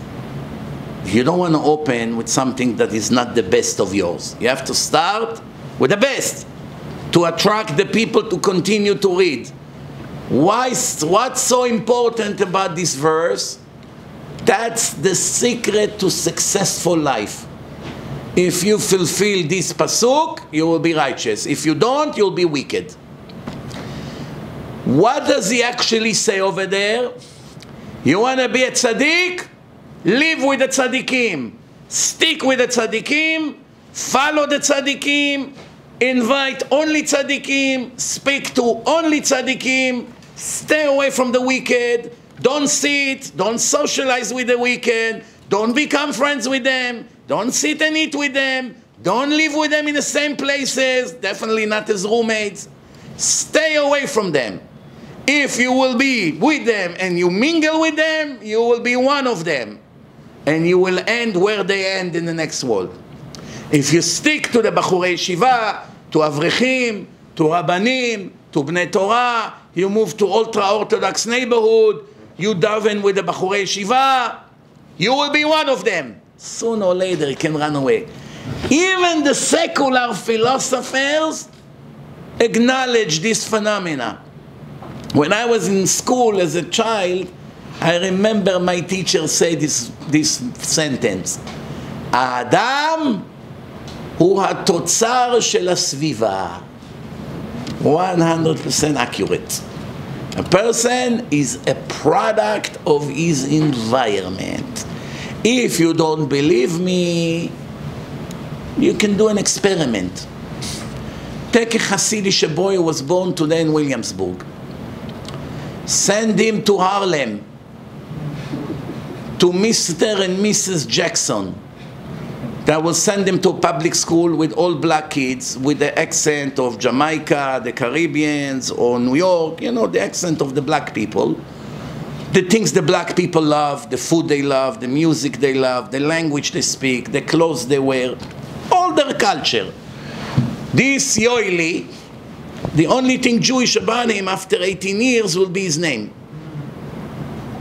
Nothing in his behaving will be Jewish. He will be 100% a black person, even though his skin will be white.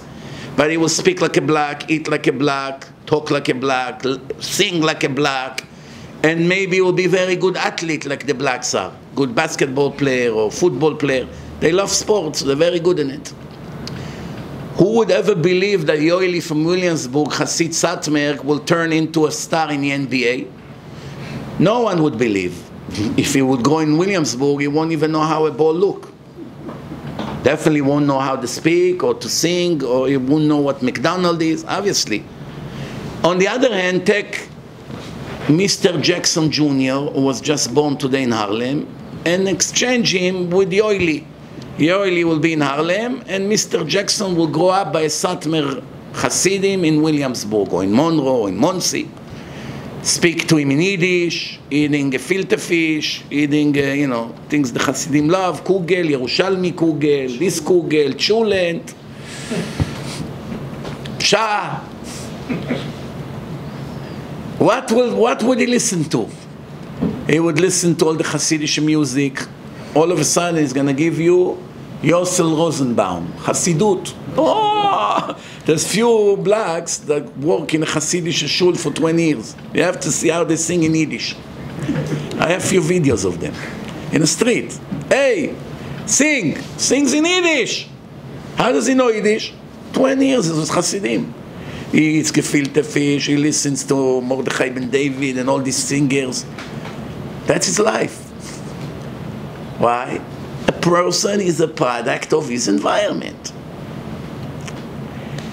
Whatever they raise you with, that's what you're going to be. You're going to be in the South, you're going to be a Southern man.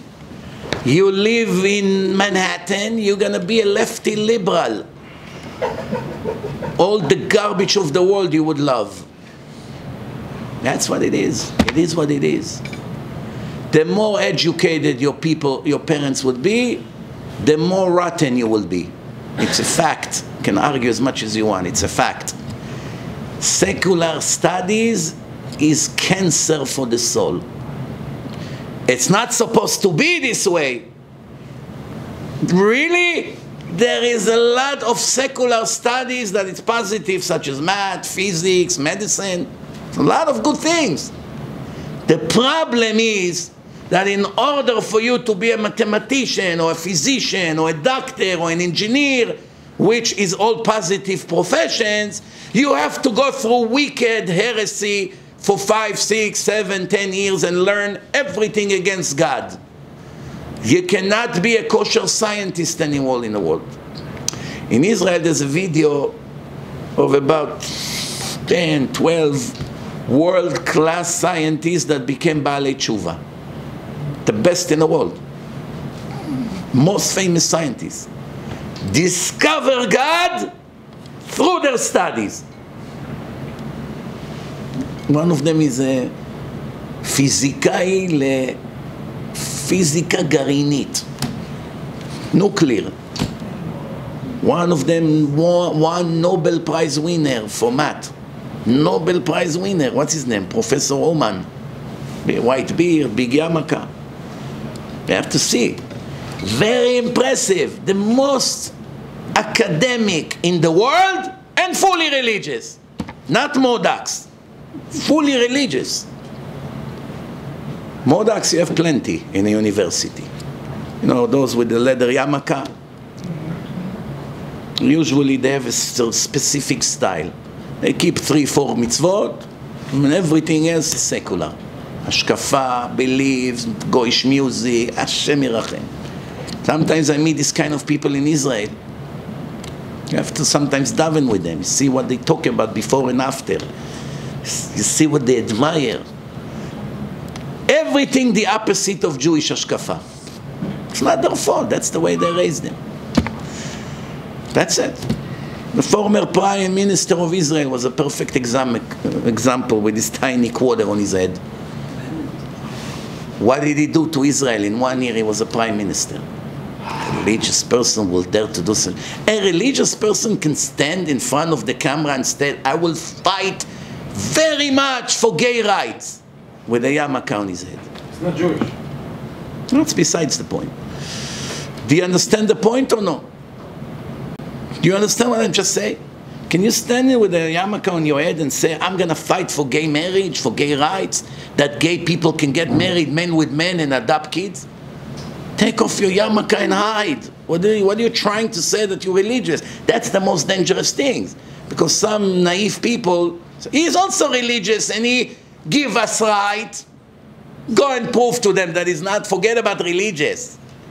Doesn't even know alphabet of Judaism. But there are thousands like this.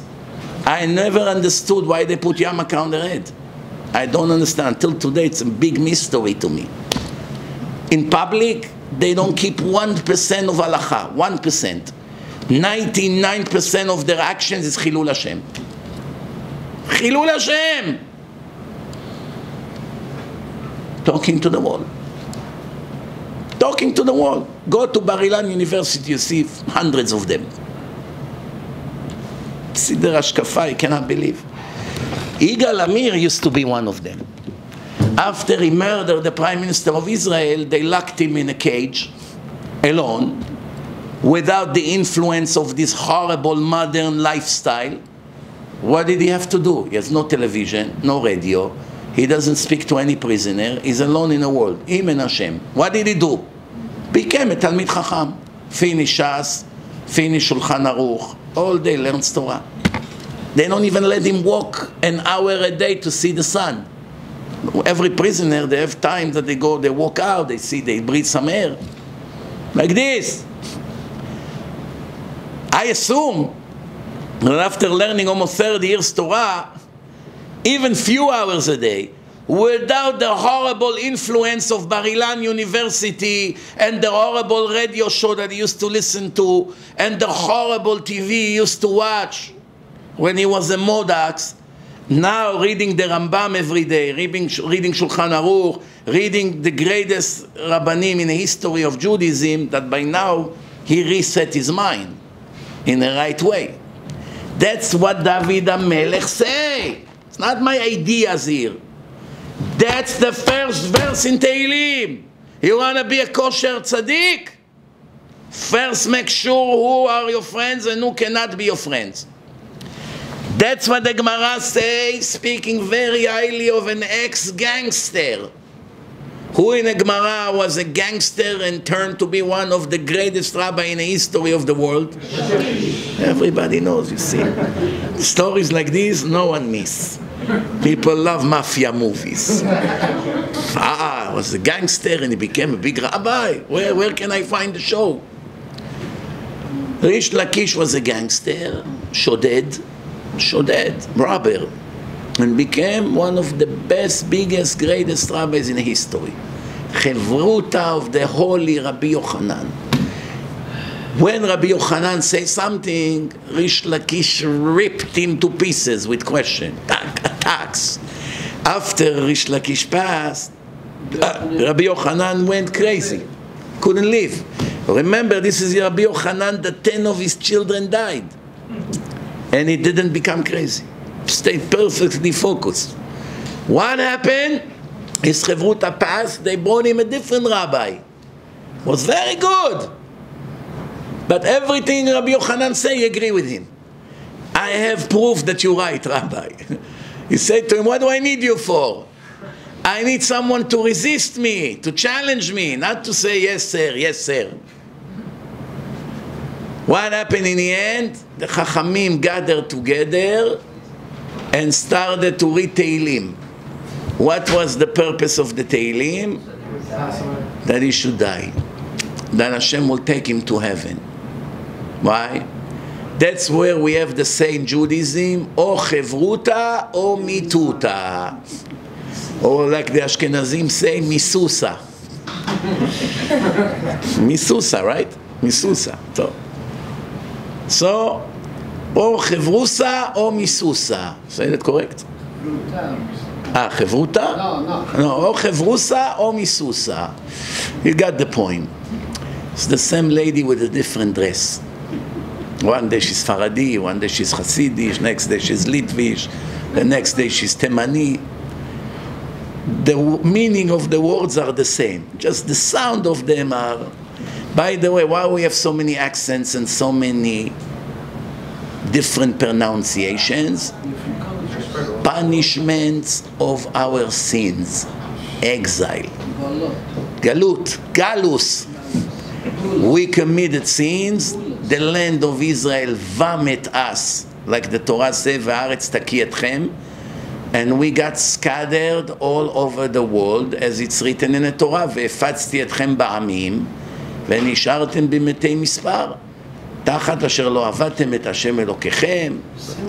Yeah, there's verses in the Torah that describe why we had to go to exile. I once told you the joke, Akadosh Baruch Hu knew that without Hasidim you can never start a new Jewish community. If you want to now go to some place in America that there's no Jews, the real estate is cheap. You want to now build a Jewish community over there. You need to buy hundreds of homes within a year or two. So what do you do? All you have to do is to send 10 Hasidim over there, minyan. They have a little yeshiva there. They have minyan, Sefer Torah. Give them a. You will have everything you need for a Jewish town. They act, they're active. Right away, they bring shochet, shchita, they go, they make a farm. They need a Jewish life. Next movement. Oh, first, before, shchita, they can import meat from New York for the time being. First thing, mikveh. Mikveh.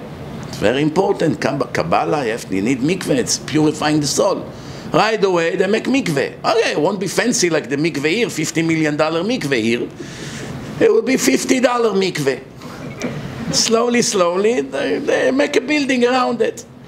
Bottom line, you come after five years, everything you have there, grocery, butcher shop, everything, fleisch, Satmer Fleisch, Satmer Schchita, this, that, Vishnitz, Bobov.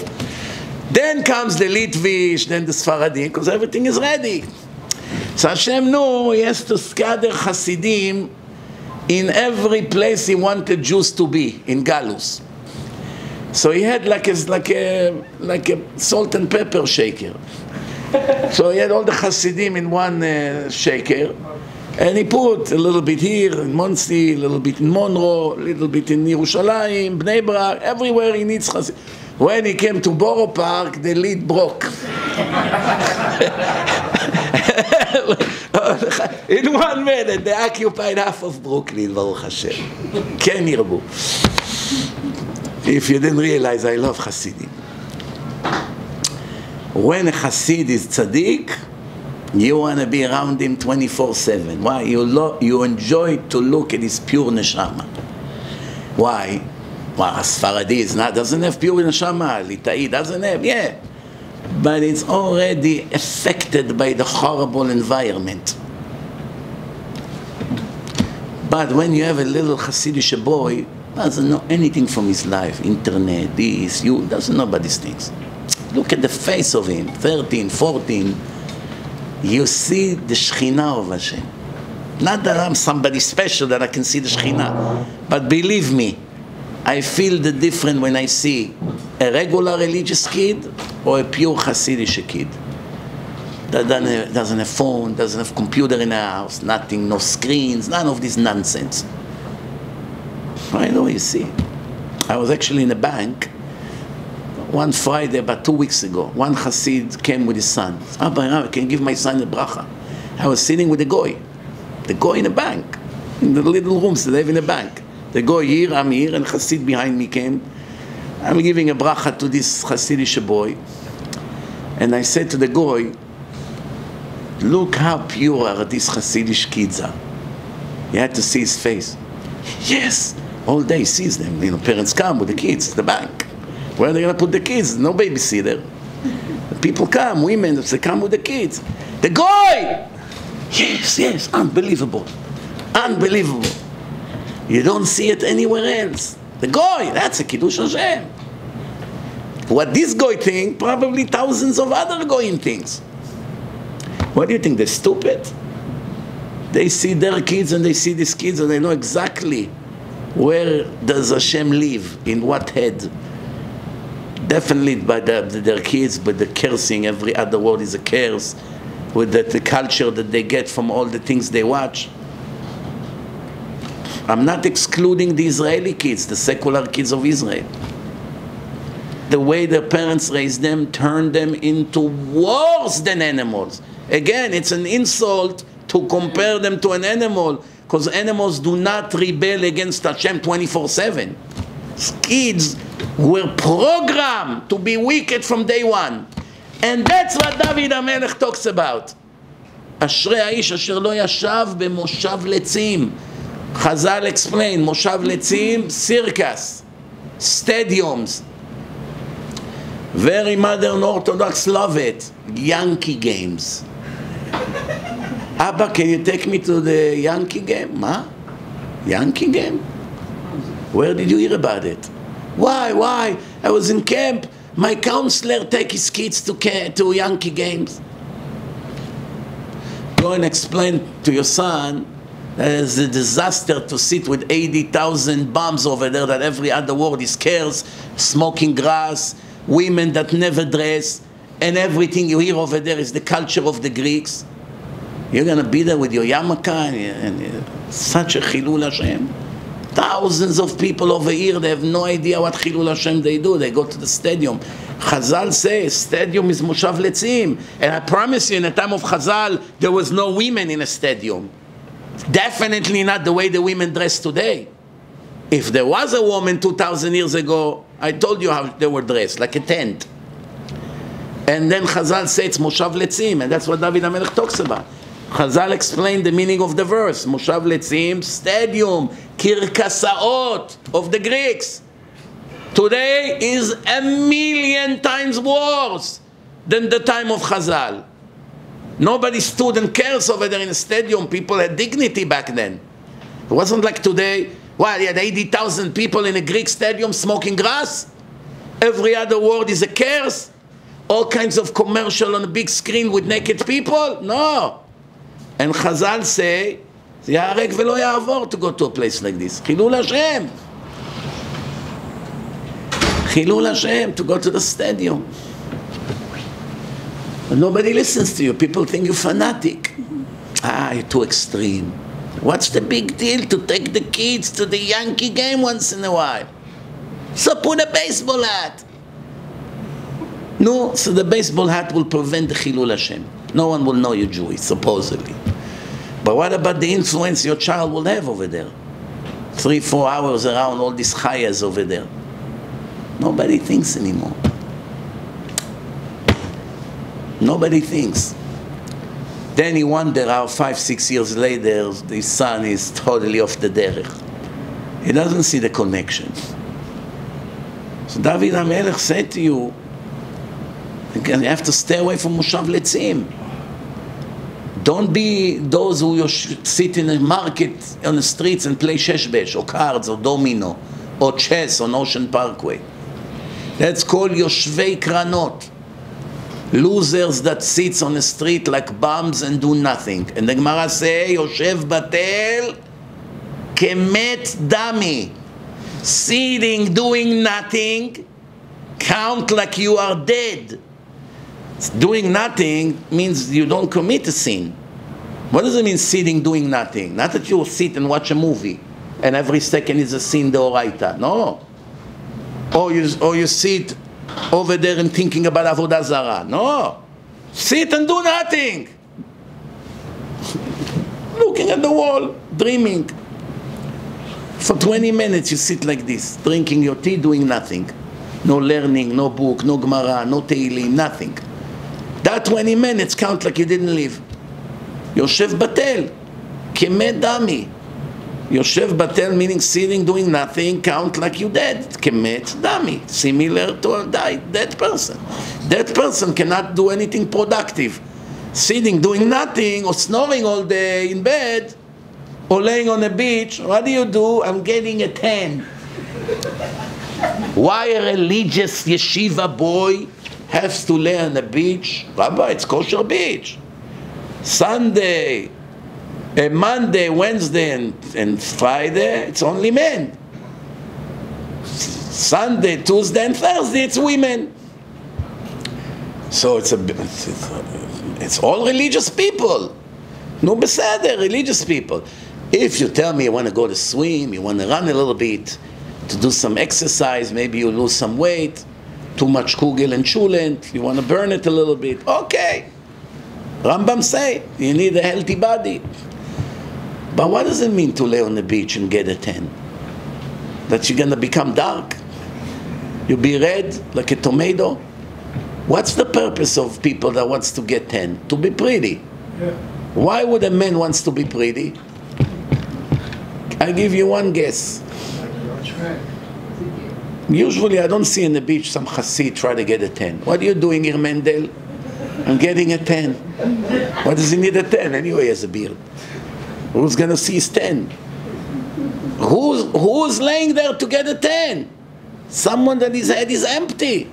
Rav Ovadia Yosef would lay on the beach to get a tan? No people on the beach, private beach.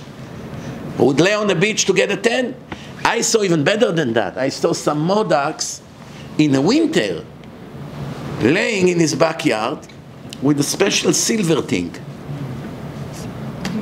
So what is he doing? What is he doing? Apparently the sun in the winter is not so strong. But with that device, whatever he had there, it hit it, reflects on his face.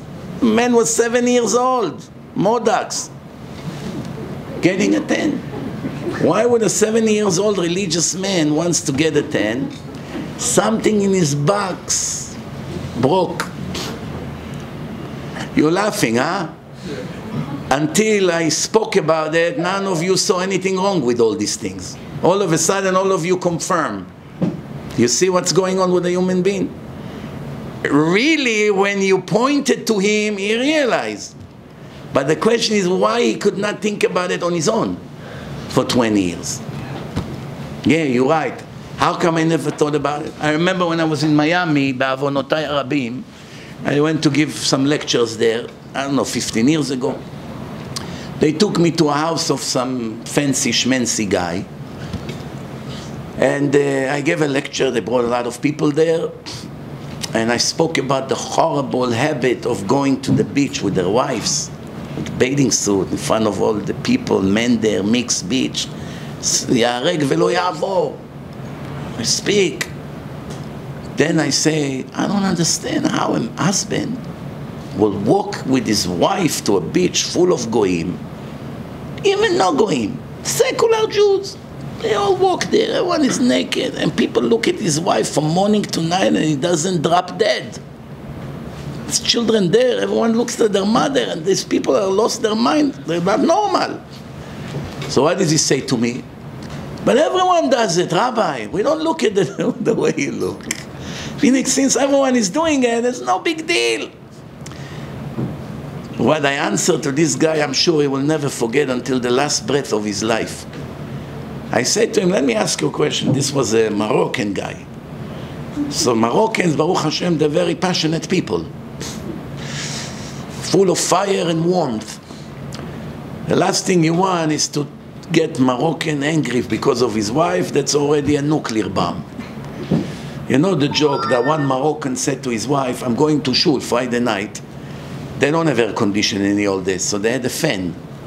So the fan either can pose in one position or can, can go left and right. So the guy said to his wife, Hey, Jacqueline, be very careful, do not press the button. I want the fan only on my seat. And I come back from shul, it's gonna be hot. I want the wind to come to my face. If you press the button and go left and right, I'll be too hot. Make sure you don't press. Now, she also wants some fan. Once he left, she clicked on the button. When he came back, he saw the fan is going, he went crazy, started to scream. I told you not to move the fan. I didn't touch the fan. So how is it moving? I don't know. From the minute you left, he's searching for you.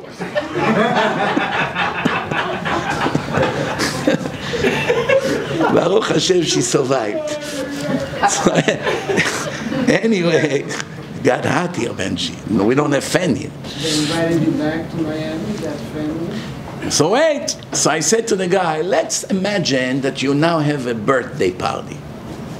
And your wife wanted to make you a surprise party. So she invited your father, your brothers, the wives, the family, neighbors, friends, colleagues from work. The house is full of 300 people, and your wife come out of the bathing, ba- uh, out of the bedroom with a bikini and high heels and a birthday cake. Happy birthday to Moshe. She comes like this with her bathing suit, with her high heels, and a cake with candles. Moshe, make a fool. Put the candle off. And all 300 people are looking at your wife in your living room with a bathing suit. What would you do? I saw smoke coming out of his ears just from describing the scenario. He say, I would grab her in front of everyone with a cake and make her fly from the window. I say, your, your, your ears should listen to your foolish mouth. ישמעו אוזניך מה פיך הטיפש מדבר. You just brag that when you sit across the street right here on the beach downstairs in Collins Avenue by the beach with your wife, in front of 10,000 monsters who walk all day like radars to look, it didn't bother you at all. So what's the problem if your wife will be with a bathing suit in front of 300 people as opposed to 3,000 people or 30,000 people? It's less than there. Yeah, you're right. We just never thought of it. He could never figure it out on his own until I had to break it up to him. Now, usually back then I used to be optimistic, thinking, wow, that's it, I nailed it. This guy will never dare to go to the beach. But after so many years, נער הייתי גם זקנתי, as you can see. And bad habits die hard. Once a person has a bad habit, it's very hard to change it. Even if it's a disaster, you show him that it destroys his life. Nothing you can do about it. All of us has it, some more, some less. Either what you eat or what you smoke or the time you wake up in the morning or your pride or your anger. There's one thing that may ruin your life. Loyalty and gratefulness, eh, you know, it's all kinds of things. Getting rid of that bad habit is one of the main thing in the purpose of life. So Rabotai, the Chachamim took Ashri Yoshve Betecha, they put it in the head of the chapter Teila le What chapter is in Te 145. Kuf Why did I do it? The Magid MiDubna, 200 years ago, he say Mizmor Teila David talks about praising Hashem. Person praise Borei Olam, Master of Universe.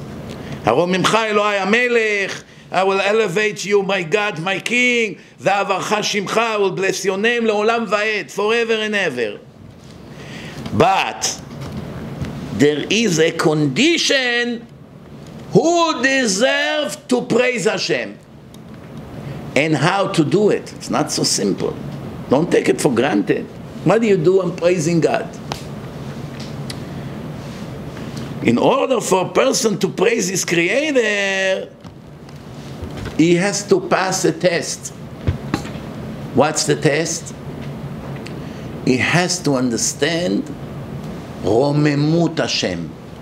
You know what it means, Romemut Hashem? It's called Yirat Romemut, like the Ramchal explained. There are two kinds of fear when it comes to God. Fear the punishment, shaking. Like David HaMelech say, Samar mipachdecha besari. My flesh is all goosebumps from fear that I'm fearing your punishment. Samar mipachdecha besari. So scared of you, Hashem. The person that loved Hashem the most in the world, perhaps in the history, was also the one who was afraid from Hashem more than anyone in history, David HaMelech. There's no contradiction. The same way I love you, I'm in love with you, I can't live a second without you, I cannot take you out of my mind, I cannot live a second without praising and appreciating you and feel so lucky that I'm your son, that you gave me Torah, that I can actually do what you told me to do. At the same time, I'm scared to death what will happen to me if I mess up. That's the right Jewish hashkafa. And all these modern fakers that tell you otherwise are destroying your soul, murdering your soul. Like one person said to, yesterday in Queens, uh, there was a guy from Florida who came. I told him, why you came? He said, to visit you. I said, no, be serious. He said, no, I'm serious. I came from Florida to visit you. And by the way, I also visit my sister since I'm here already. good thing she wasn't there to hear. But as a good guy, באמת, he loves Musar very much. He said to me, where I am in Florida, I went to daven by a specific community. And I asked the rabbi over there, how come there's not one minute of Musar here the entire year? First time I asked him, he ignored me. He didn't answer. I couldn't help it. I asked him the following Shabbat again. Now he got uh, a little bit angry, or a lot. And he said to me, that's not our style. We don't teach Musar. He thought he's going to leave him alone. But that guy, you know, is Israeli. Israelis sometimes push few buttons that they shouldn't push. And the guy, out of searching for the truth and caring about the truth, started to push him to the corner. He said, But what do you mean it's not your way? It's the way of Hashem. The entire Torah is Musar. Every other pasuk is most strong Musar. Every Jewish book in history is full of Musar. With uh, no exception to the rules. Faradim, Hasidim, Ashkenazim, Temanim. Everyone follow the same Musar, Orchot Tzadikim, Israel Sharim. He started to argue with him. What do you mean it's not our way? What, you pick and choose? I don't have to tell you what happened to him after he used those words. You pick and choose? Ah. What does it mean pick and choose? Reformi. Conservativi. Modox. Open orthodoxy and the rest of their nonsense. Choose what I like, put an X on what I don't like. Doesn't exist. Why? I'm not comfortable with that. You know, in America, there is a famous sentence I don't like that speaker. Why? He's too judgmental. How many times you heard this? I have news for you. Anyone who is not judgmental is wicked. Anyone, with no exception to the rule. The number one obligation in the Torah is to be judgmental every second of your life to your environment and your surrounding.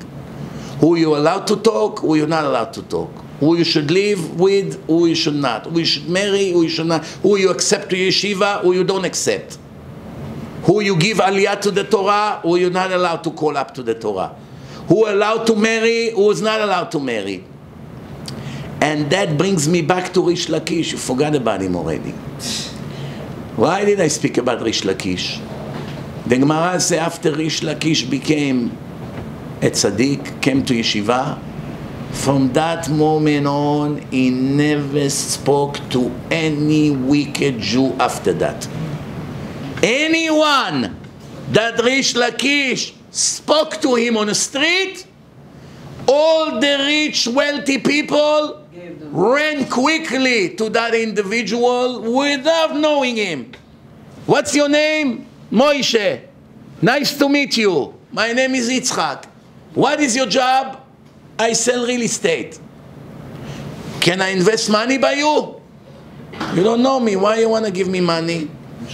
I don't need to know you.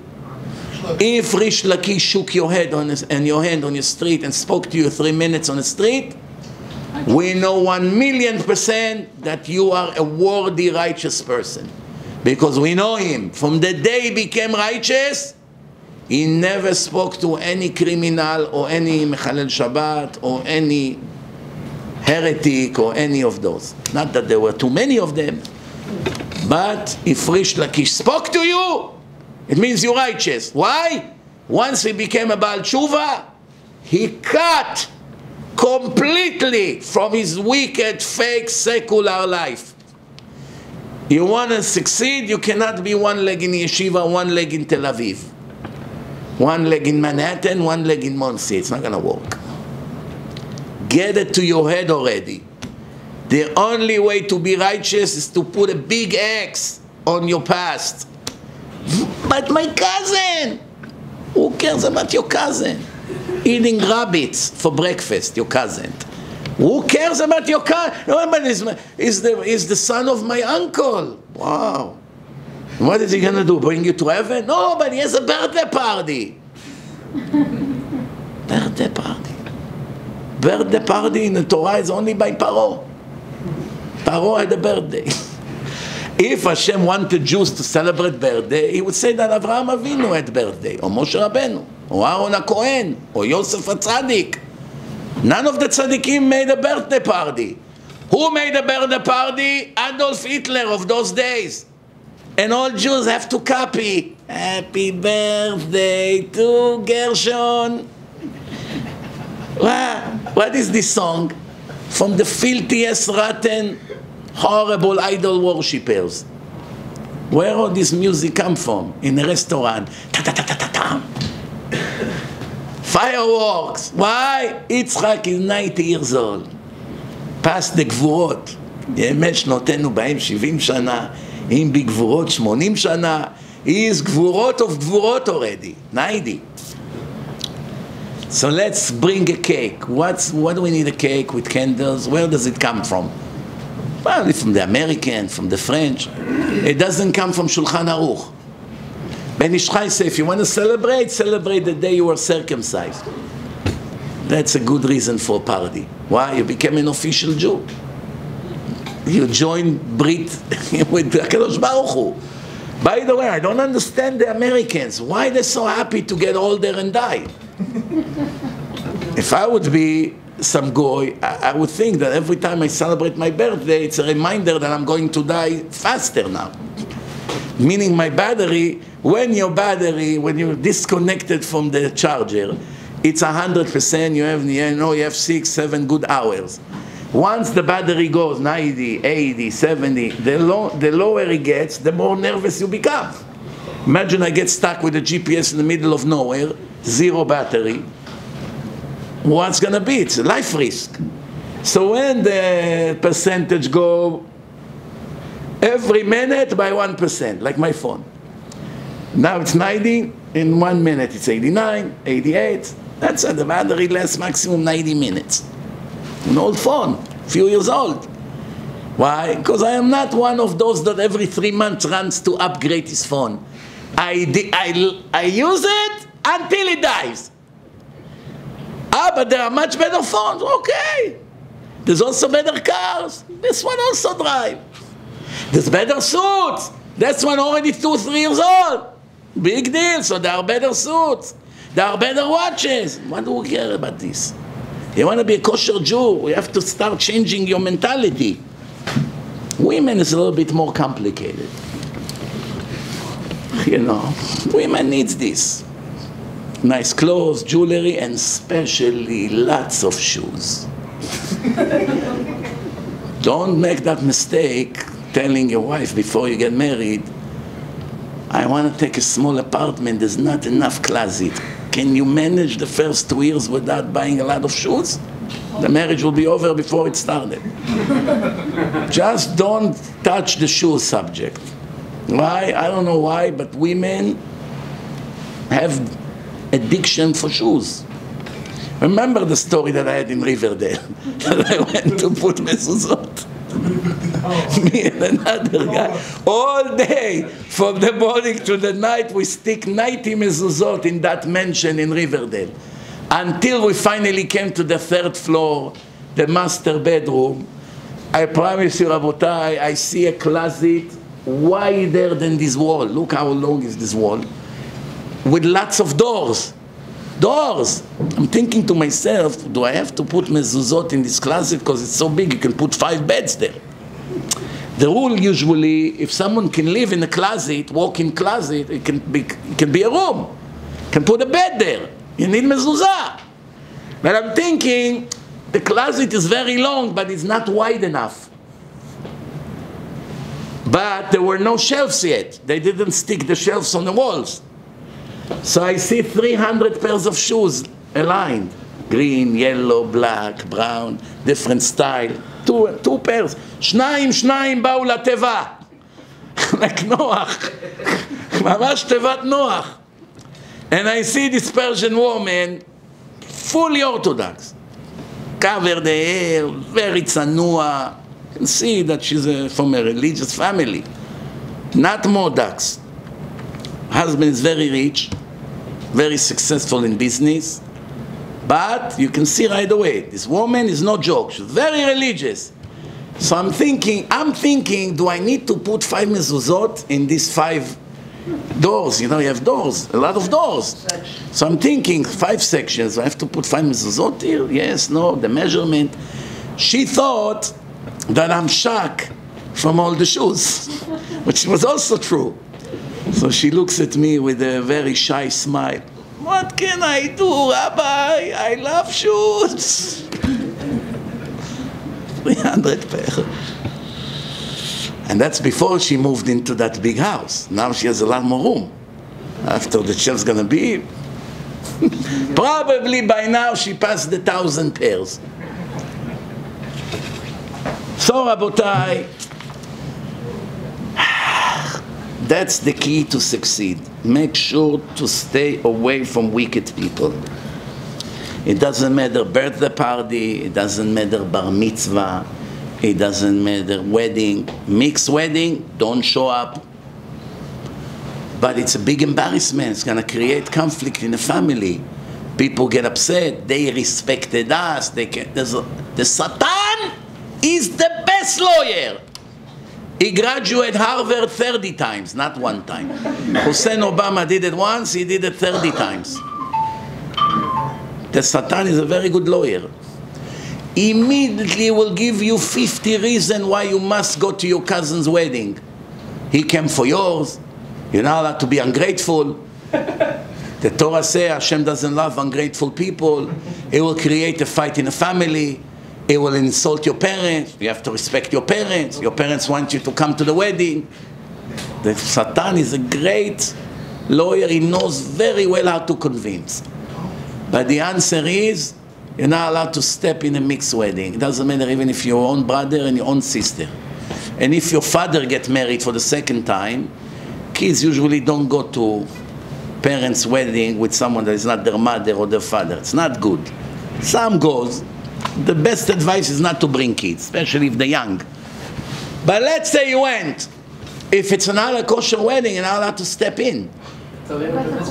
Some rabbis allowed to go to the chuppah, assuming we, men sitting on one side, women on another side, even by the secular people, which is not always the case. Sometimes they even have mixed seating in a chuppah. Assuming that it's a close family, mamash real relative, some rabbis, because of the fear that it will create fight in the family, and Hashem doesn't love fight, He loves shalom, so they're allowed to go to the chuppah. My humble opinion, it's not allowed to go to the chuppah. Don't listen to me. Have big Talmidei Chachamim, they allow it. But I'm just telling you, my, my personal opinion is not allowed to go to a chuppah of a mixed wedding. Even though there's no dancing in a chuppah, and men would sit one side and the women would sit on the other side. So technically, there's really no sin there. Sit like you're watching the chuppah from far. Why, uh, in my opinion, it's not allowed?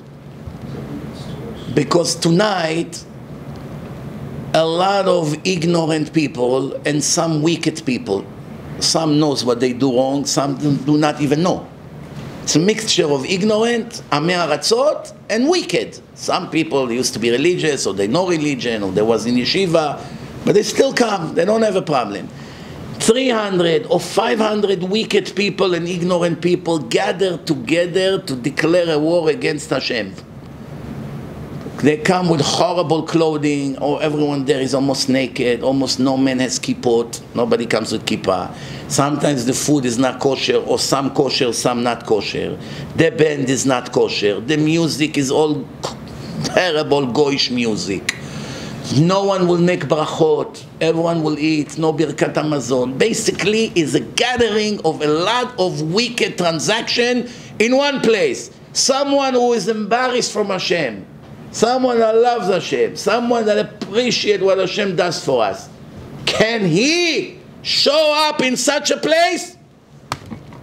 How would it look in your trial in Shamayim after 120 years? That they will show you surrounded by 500 Mechalelei Shabbat, half of them goim bichlal, married to goim. All these fakers with their cigars and tuxedo. Oh, so what's up these days? Yeah, Chaim, with his chicks are next to him, his wife. How? How are you? And the music of the amigos from Mexico, the muchachos and Mr. Mr. Orthodox Jew from Flatbush showed up. Welcome! Wow! We so honored you came. Yeah, they are honored. And Hashem is crying.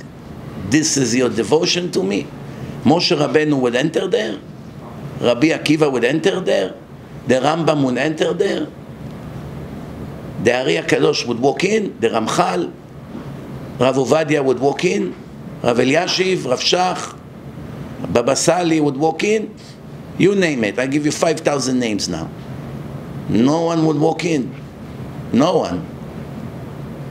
But he walks in and he will even eat. Ah, don't worry, don't be fanatic. It's not meat.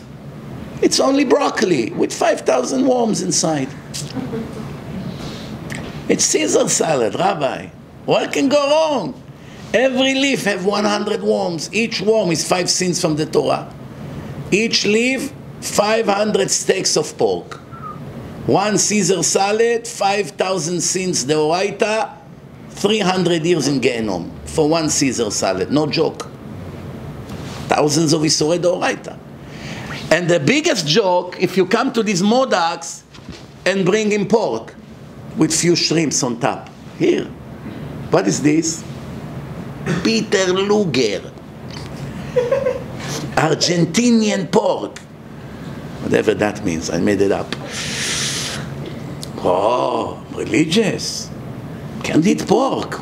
You're embarrassing me. I can't eat pork. You just ate 5,000 porks now in a buffet. Ah, it's very sad. Very, very sad the situation of the people. I want to tell you something. Last Tuesday, Simantov will be the witness. We were very hungry. We were here until 1, I don't know, 12 something, right? We wanted to go eat something. We want to go to a quiet place. We went to a place that is usually very quiet after midnight. Nobody there. Take a little table and eat. We showed up to the place. Packed! 300 people at 1 a.m. I went to, with my car and he came two, three minutes later with his car. I called him up. I said, we cannot eat here. Why? 300 people here. I don't know what happened. No.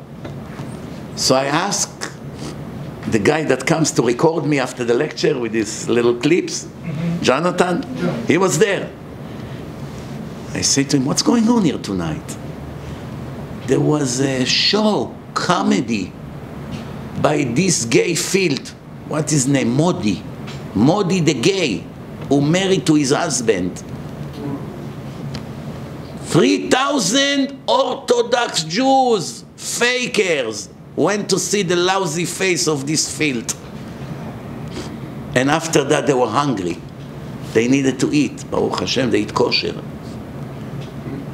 The Torah allowed to look at the face of such a Rasha, to laugh from his jokes, when he get on a stage and brag that he lives with another man married to him? Hasidim, sitting over there watching this field. Litvish, people with black hats, people are knows Shas. They come with to vomit, to vomit with this kind of Orthodox people we have in our community. Nobody even care what they do. Such a chilul Hashem. Who is this Rasha Merusha that organized a show to this field? You bring him in your Shabbos table to sit with his husband next to your religious kids? That's the next step. No one has Yirat Shamayim, zero Yirat Shamayim. It's all fake. And they think, oh, in Olam Haba, I'm going to sit next to the, to the Rebbe. Next to the Rebbe, you're going to sit. Your Rebbe would go to see the field of this place? Show me one normal Rebbe that will agree to come to a place like this. Show me one real tzaddik. He tell them there is a comedy, some idiot, mentally sick, horrible, despicable abomination that imitate Ashkenazim and Sfaradim. Supposedly he's a good imitator. How can you look at his face, not to talk about listening to his voice? This person is one of the most wicked people on earth, not just him, him and all his friends with their abomination. It's a death penalty in the Torah with a permanent cut for the soul. If Hashem gave this gay such a punishment, why are you looking in their face? No, you're too extreme. You're too fanatic. I'm nothing. I'm just telling you what the Torah say. And I also tell you the truth, which you don't like to hear. Your grandparents from Poland and from Russia and from Lithuania and from Syria and from Yemen will die not to look at the face of someone like that. With a gun to their head. They're not to talk about sitting two hours and laugh from his stupid jokes. But we need to laugh. We need to laugh. There are a lot of good kosher comedians. Sometimes in the seminars they invite all kinds of religious people. They tell kosher jokes. They also imitate people. None of them. Don't get me wrong. If people have a desire to do a horrible sin, men with men, I don't know, all these things that people do, I'm not here to judge people's weaknesses. No one is perfect. This guy has weakness with women, this one with men, this one with animals, this one with non-kosher food, this one with stealing. Everyone has his weaknesses. We are not here to blame someone that has desire to do things against the Torah. In case you think that we criticize this part. No. All my life I speak to secular people, to wicked people, to people that according to the Torah don't deserve to breathe. And I speak to them with lots of attention and care. I'm not here to condemn the wicked. Don't get me wrong. I'm here to speak about someone who knows that he commit the most despicable sins in the Torah that has a death penalty and a permanent cut for the soul, and instead of hiding it and feel horrible about it, flesh with that and brag and press on the nerve of every righteous person around to wave with his despicable abomination. I am great and all of you are nothing. Almost every one of these gays is like this. Here and there you find some that are embarrassed of their situation. They come, they talk to me. I have this problem, what can I do? I cry for it day and night. I want to kiss his hand. That's not a Rasha. he has terrible desire. He cries about it. He's hiding it. He's worried. His parents begin to suspect why he doesn't want to go on dates. I'm the last person who will condemn him. Why? He has a very hard test. Just because you have hard test and it's hard to pass such a test. It's one thing to fail, even a thousand times to fail, but there is a whole different league of making your wicked status as something to brag about. Making flags, making all kinds of parades, and speaking about it in the open with such ego and pride. And the worst thing is people with beards and yarmulke and tzitzit all the way to the ground that were sitting in a kollel for nine hours that day, showing up to clap to this field.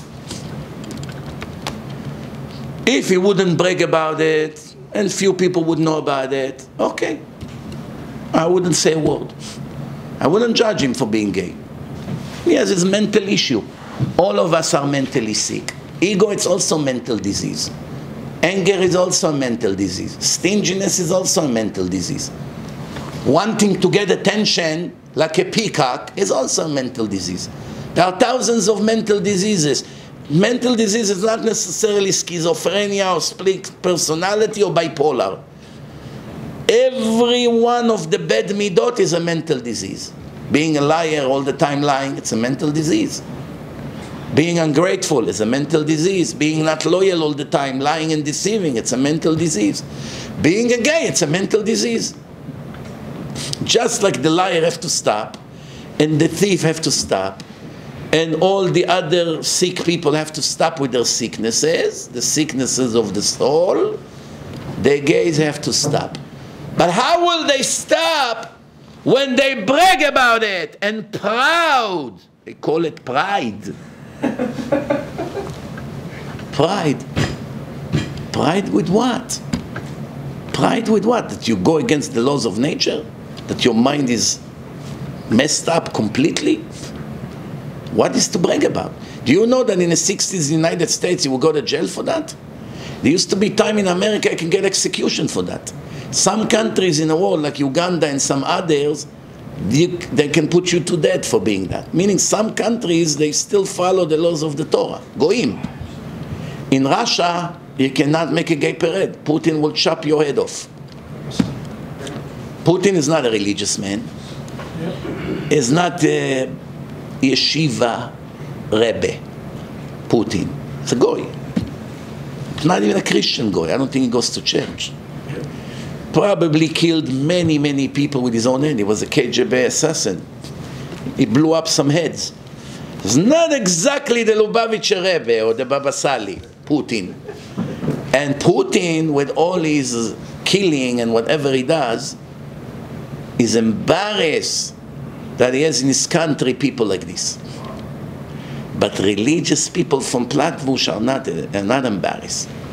When they watch this lecture, don't worry, they will criticize me. I'm the, I'm the problem. I'm fanatic, I'm an extremist, vile, arrogant. No, okay, I don't care if they blame me, at least they change, it's worth it. What's the point? They blame me and in the end they become worse. I want to finish, Rabotai, with just concluding what we say. In order for a person to be worthy to praise Hashem, he has to first know Him. He has to be scared of His punishment, but there is a higher level. He has to fear Him out of respect. Fear Him because of the punishment is one level. Fear Him because He's the Almighty, great Creator of the world, holy, with all the greatest things you can imagine. Knowing who I'm dealing with, who chose me to be His Son, who gave me the Torah, who prepared for me life world to come full of unbelievable spiritual pleasure for the soul, and he care about what I'm about to do, how can I not be shaking? Not out of a fear from the punishment. That's a lower level. Out of fear of the embarrassment to do such a horrible thing when he's watching me. Forget about punishment. Even if he give me a get out of jail free card, you will not be punished. Don't worry. You will not be punished. If I had Yirat HaRomemut, either way I would be embarrassed to do it without punishment. That's why they put this in front of Tehillah LeDavid. The only way to recognize Hashem is to sit in his home, meaning the yeshivot. אשרי יושבי ביתך the house of Hashem is the places of the Torah, the synagogue, the shuls, and Bet HaMikdash. אשרי יושבי ביתך עוד יהללוך סלע. They will praise you in Olam Haba for eternity. Here it's here and there. Five minutes here, an hour there, two hours there, and it's over. Over there, I will be constant praising to Hashem. You know, that's not going to be no Yetzer Hara. So those who sit in the house of Hashem can praise Hashem.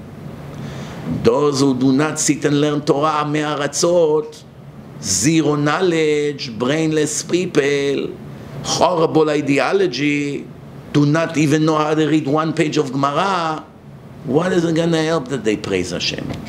Even when they come to praise Hashem, they will say nonsense, stupid things from their mouth, which I heard many times that some people uh, say horrible things when they come to praise Hashem. In order for you to be worthy, to deserve the honor of praising Hashem, you have to sit in His house and learn Torah first. Learn who He is. Now, when you know who you're dealing with, you will know how to praise Him properly. If you won't know, that's by the way the reason why the Chachamim made us a routine prayer. Until Anshe HaKnesset HaGdolah 2200 years ago, everyone prayed with his own language. Avraham Avinu said we have to pray Shachrit. Yitzchak say we have to pray Mincha. Yaakov later say we have to pray Arvit. But how to pray, what to say, they didn't say. They just said the time. Shachrit in the morning, Mincha before sunset, Arvit after the stars comes out. That's it. How do I pray? With your own words. Dear God, I love you, help me, I need this, that. Okay. But then people started to be ignorant. Not everyone is a Talmid Chacham. So what happened when a person is ignorant? He begin to speak a lot of stupid things from his mouth. That's what the Gemara say. Talmidei Chachamim, the older they get, the more upgraded they become. Superb, more and more. עמי הארצות, the older they get, the dumber they become. I put my life on it. It's one million percent accurate. all the Amei when they become 75, 80, 85, they act like little kids in kindergarten. Look at the old people, there's a shtuyot they talk about. I see, I go to, to events, to places. Embarrassment. You go among the Chachamim of Yerushalayim, Sfaradim, Ashkenazim, doesn't matter. See it with holy people that learn Torah all their life. The older they get, the more impressive they become. Why? That's the way Hashem made the world. Same thing, drunk people. Once the wine goes in, the secret comes out. What secret? Who you are. Back then, everyone had a beard. Everyone had a turban. Everyone looked like the Rambam. We see a picture of the Rambam with his turban or the Ben Ish Chai. There were thousands like this who doesn't know how to read Hebrew can't read Gemara Bechlal. They all had beard, ma. There was no Gillette yet. And no Philips, no Elko. so everyone had a beard. The Goim also had a beard. Everyone look minimum like the Ben Ish Chai. Or the Baba Sali with his covering his head. So what? When will you know who he really is? Give him a bottle of wine. If he's a Talmid Chacham, a river of knowledge will come out. Because until now he's humble, he's hiding it. Once the alcohol goes in, he begins to shoot.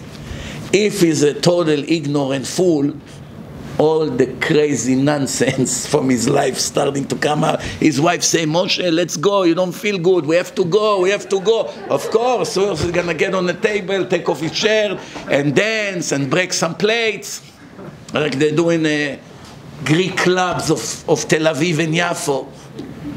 Imagine a Talmid Chacham, give him a million dollar cash to take off his shirt in the middle of a club, and someone will take a picture and put on Instagram. Mendel, one million dollar cash. Take off your shirt, your belly, stand on the table with a glass of beer and say L'chaim. And we make a one picture and put it on Instagram and you get a suitcase with a million dollar cash. Will you agree? Any Talmid Chacham will agree. If someone agree, you know he's a faker. For sure he's not a Talmid Chacham. Talmid Chacham will agree to take a picture without his shirt? If he went to the religious beach or religious pool and some snake came and took a picture, it's not his choice. He didn't want it. Nobody had permission to do it. But deliberately, come, come, take picture of my muscles. Who does it? Only people that their brain is empty. The Rambam say, once wisdom of Hashem goes into the brain, all the nonsense is pushed out. Once the wisdom of Hashem doesn't go in, there there's a lot of room for all the garbage. Once the nonsense go in, the, the, the wisdom go in, it push out the nonsense. Once the nonsense go in, it push out the wisdom. That's so true. So true. If you don't believe me, look at the kids in Bein HaZmanim.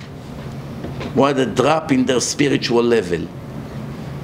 Those who do not go to a religious camp, who sit and learn every day, at least half a day, besides the sport over there and the swimming, after three weeks doing nothing, they go from here to the bottom of the bottom.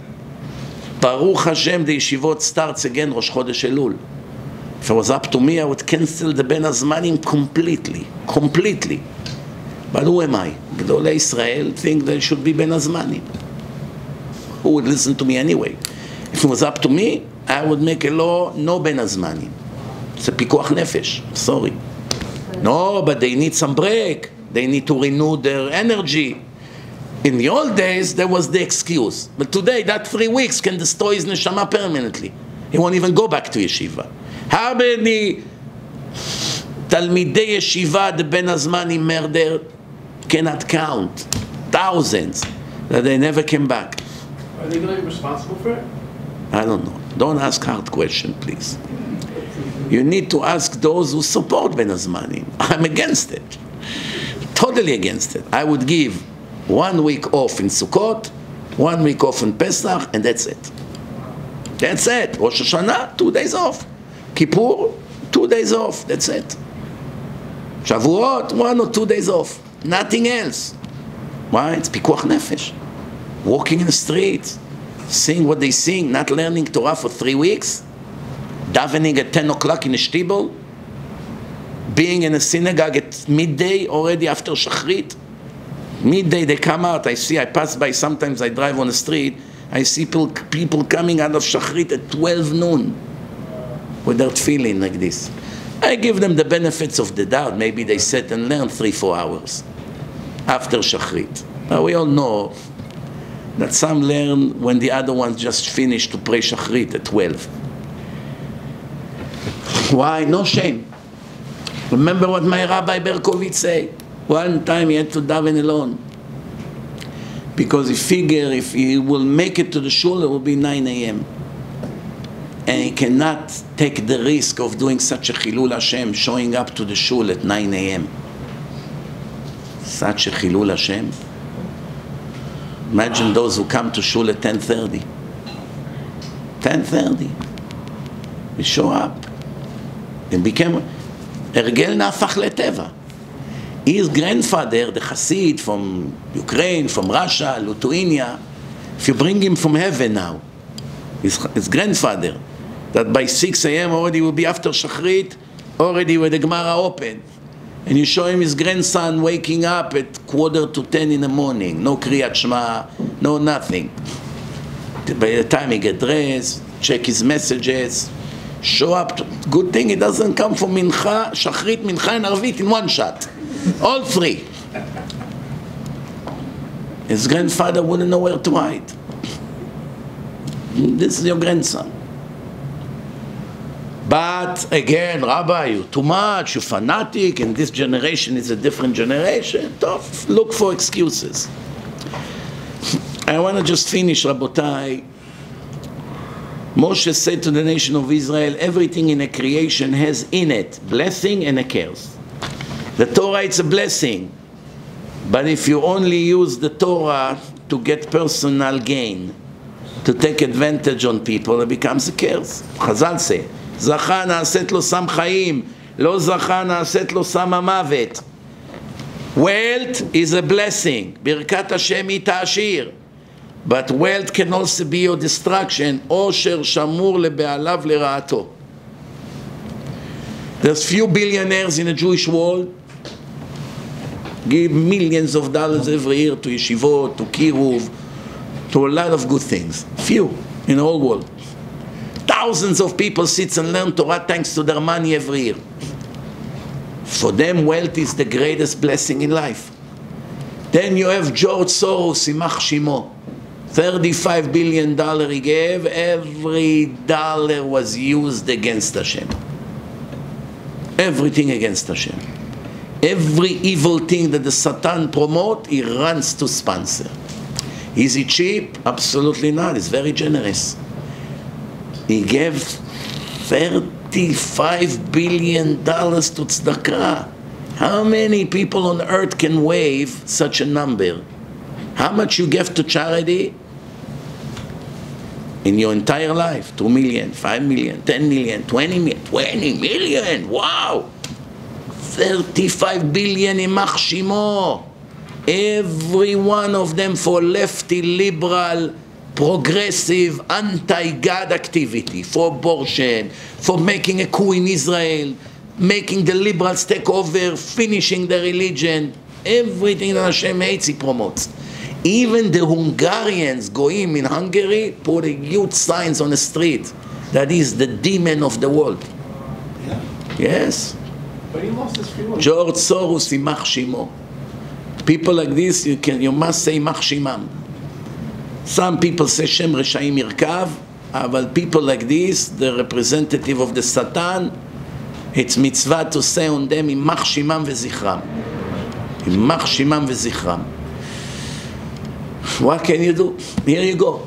The money that he made, people think This guy survived the Holocaust, cooperated with the Nazis, told the Nazis about all the Jewish property, where to find it, and the Nazis let him live. And now, a year or two ago, they asked him in an interview if he feel guilty about helping the Nazis against his own people, the Jews. He said, absolutely not. No regret.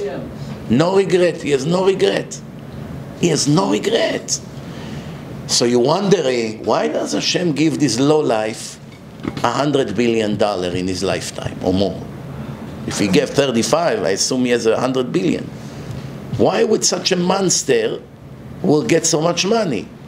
The answer is to make his hell deeper every day. If he wouldn't have money, he wouldn't be able to help the Satan to destroy the world. Now, when he gets money, all the money goes to negative things. That means his verdict becomes worse every minute. Another million to here, another million to there, five million to the gays, ten million to this, to Hamas, to, to everything that Hashem hates, he gives. So, the money that he makes is 100% poison for him. The money that these kosher Jews that sponsor Torah and Tshuva and Kiruv, it's the best blessing. They help widows, they help orphans, they help the shul, they help the mikveh. They help so many people with their money. Every dollar they make, it's a great blessing. Some people, they do not donate to good and do not donate to bad. They're just cheap, stingy, they don't give anything. What's they're burning their money on? To get their belly bigger. For pleasure, Ferrari, Bentley, a yacht, business class, nice homes, art. They don't give. Well, at least they don't sponsor all the evil in the world. They will have a big problem that they use the money for tzedakah. They'll kill themselves for that. And in the end, when they die, half of the money will go to Sleepy Joe and his friends. That's the law in America. And the other half, his three sons will murder each other for the money in court with lawyers. How many families broke to pieces because of that? That would be the end of this stingy fool. He did not use the money to buy Olam Haba, especially now Elul. How many times we have to say it every year to the people, and only very few get the point. Buy your Olam Haba. Why? You're not going to be a learner. You're not devoted. You're not such a davener. You're not sitting and reading Tehillim with tears. You don't do full tshuva for all your horrible sins. Your heart is not broken to a thousand pieces. You're not even accepting to change your bad ways. So you have only one weapon left. Now you have nothing. Only one thing, tzedakah. That's it. Tzedakah tatzil mimavet. Tzedakah tatzil mimavet. Tzedakah will save from death not only the righteous people, even the wicked people. That's what they don't get.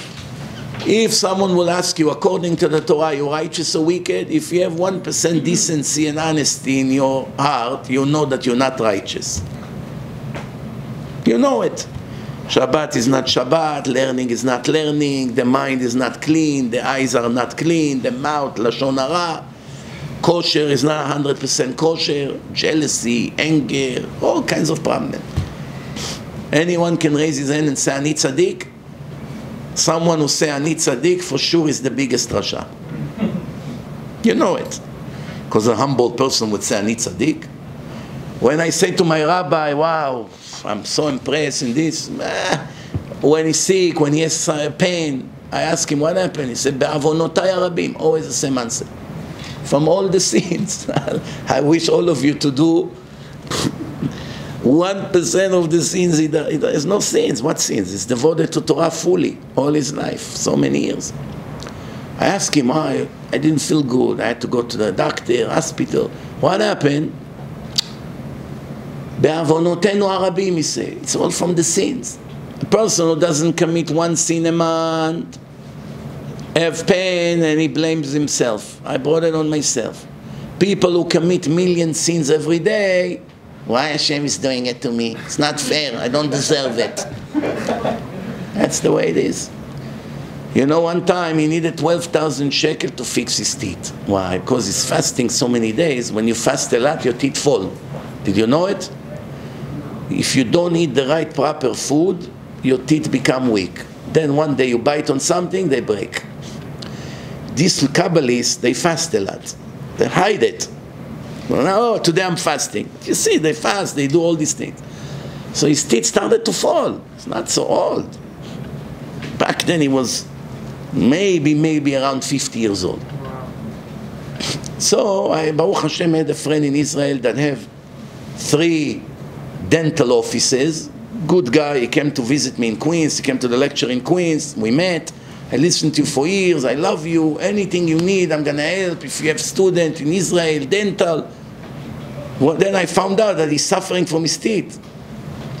So I said to the guy, okay, I'm gonna pay you. You give me a good price. I'm gonna pay you and take care of all what he needs. Implants, this, root canal. He went one time. He went the second time. First time it was evaluation, X-ray, all this. He went for the second time. He saw how long it took to start fixing one of the tooth, and he didn't go. He didn't go. And I already paid the guy up front. I said, here, this is for everything. Take care of everything in it. Then he said to me, oh, rabbi doesn't come. I said, you sure? I said, yeah, we made him an appointment. He didn't show up the third time. I called him up. Why you don't go? He said, listen, I calculated the amount of times I'm going to have to go to the dentist until I will be able to fix all the three teeth. The amount of bitul Torah it's going to cause me, it's not worth it. I will manage with the few teeth I have left. I don't want to fix it. Why? It's going to be more than 10 hours bitul Torah. When you're in such a level, every hour is eternal. Everything you calculate. Go to a birthday party, four hours, jump like a monkey with goyish music. Forget about the bitul Torah, the embarrassment of that. Why, why you didn't come to the lecture? Oh, Rabbi, I'm sorry. Why? the best answer is I went to a yortzeit. Yortzeit. Some people, they make their yortzeit more fancy than bar mitzvah. Catering, catering place. Very nice. Everyone sit, eat, steaks, shish kebab, this, drinking whiskey. Of course they would prefer this than two and a half hours of this annoying speaker drilling in my head. Tov, no, yortzeit. At least they did something for a deceased person. What, what excuse there is a birthday party? Drives me crazy when I hear it. Why I didn't come to the shiur? My cousin had a birthday party. My neighbor had inauguration of his daughter. She finishing law school. What do you care about the daughter of your neighbor? What do you have to do with her now? You have some party in a... What? No Yirat Shamayim. Replacing diamonds with sand. Replacing diamonds with sand. Do you know anybody in uh, 47th Street that willing to replace diamonds with sand? Go one boot from the other. Find me one Bukharian or Afghani or Persian or Kafkazi or Georgian or Syrian or anyone else, the Hasidim there in 47. Give me a box of diamond, I'll give you a box of sand. If you will find the one, please let me know right away. I have a lot of sand in my backyard. Please just tell me where is that fool. Most something inside me tells me he won't be so successful finding him. But when it comes to eternal diamonds, everyone is a fool. What do you do? There's a game. Playoff. Playoff two people fight about a piece of leather if you go into the basket or not. Three hours he sat and wasted. They make billions, and he's still unemployed. What is, how does it help you in life? At least you would sit, learn three hours Torah, get 180,000 mitzvot. One day you cash out on your reward. The Yetzer Hara is a genius. He's going to let you learn. Same thing with tzedakah. Now Elul comes. What can be a bigger saving than donate tons of money? Shem, I want to save your children. I'm not perfect, at least let me help others to become better. Me not fixing myself, it's a problem, obviously. You have to be tzaddik. So if I do nothing about it, plus I don't care about anyone else, I have a big problem in Rosh Hashanah. But if I come to Rosh Hashanah, I'm not perfect. Did I get rid of my anger? No. Did I get rid of my laziness? No. Did I get rid of all my other issues? No. Did I improve my Torah learning? No. Did I improve my modesty? No. Everything, no. Did I save other souls? Maybe yes. Five, ten, fifteen. Money. Money. Zelle, Venmo, checks. That's it. Nothing else left. People not getting it. That's only one card that can save you. All the cards are gone. One card, the Joker, tzedakah. That's it. And that's what Chazal say. Chazal say, ציון במשפט תפדה ושביה בצדקה. The nation of Israel will be redeemed in the judgment day. How? Those who will do tshuva by giving tzedakah. Clear verse. What will save the people? The tzedakah. Why? Because nothing else they did correctly. If you sit in Elul, you take off from the business, you come to the yeshiva in Monsey, you learn from morning to night non-stop, you do tshuva, you daven, you do slichot, you come to Rosh Hashanah like the Baba Sali. Tov, you don't have to give ton of tzedakah. You took care of your neshama with your own hands. Anyone here will do it? Probably not. Those who listen now at home? Probably not. What, what weapon you coming to the trial with? You have nothing to suggest to the judge, nothing. The judge's going to read all the, the list of the accusation against you. You're guilty in everything. Mm-hmm. You got to pull out something that will save you from losing it. There's only one way. One way. What is it? The judge said that if you will donate enough to something he likes, he's willing to look the other side. Do you know one person will not do it? Trump pardoned a lot of Jews before he left office. I always thought because he liked Jews and he's, you know, always been nice to Israel. But now I found out that these people paid him fortune for it. It wasn't for free.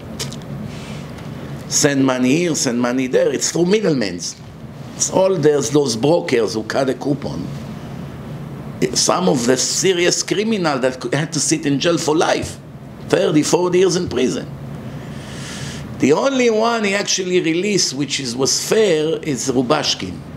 He wasn't there, he wasn't supposed to be there in first place. Maximum four years he was supposed to be in jail, according to all opinions of all kinds of judges and lawyers. The anti-Semite people of the court send him to 30 years in prison. Him, he should redeem him because that was the right thing to do. Other criminals, from some I heard what they did, they stole millions of people, destroyed thousands of families. They were supposed to be buried there and in hell for a thousand years. All of a sudden they go after one of them from Lakewood, that crook that did the Ponzi scam, did it again now. Why would they release such a monster that stole money from thousands of people? It's like almost releasing Madoff. Why? Money. Millions of dollars go under the table. That's the corruption of those politicians. You know, there's mitzvah to redeem a Jewish prisoner from jail. But many people mm. think if there's a mass murderer, let's go and collect million dollar to release him from jail. No. Someone like that should be in jail forever. Don't do anything to release him. A drug dealer who sells drugs to thousands of kids, you should do everything you can to keep him in jail until he die there. Even someone who lives with his wife without mikveh, you're not allowed to release him from the jail, the Chazon say. Unless he sign a guarantee that if you release him from jail, he will only touch his wife after the mikveh. Chazon Ish. Why? It's better for him to be in jail. Why? If he comes home, he does his Torah karet with his wife every day. Karet, karet, karet. She's nida. She doesn't go to the mikveh. Keep them separate. Are you allowed to do shalom bait between secular husband and wife? Not allowed. Not allowed. Better they'll be separated. Why? They move in back together. They have intimacy a few times a week. Every time they're together, both of them gets a cut for the soul in the court of heaven. They will curse you forever for making peace between them. We're not talking about revenge. I'm helping you. Make peace between me and my wife. She doesn't want me back home. No. Better you be separated. You're such a cool rabbi. Why you don't help me? For your own good, you fool. I put you back in the house every time you touch her, it's karet. You do not know what's waiting for you. I know, so I have mercy on you. If I didn't care about you, first thing I do, make peace between you. Let you be in hell forever.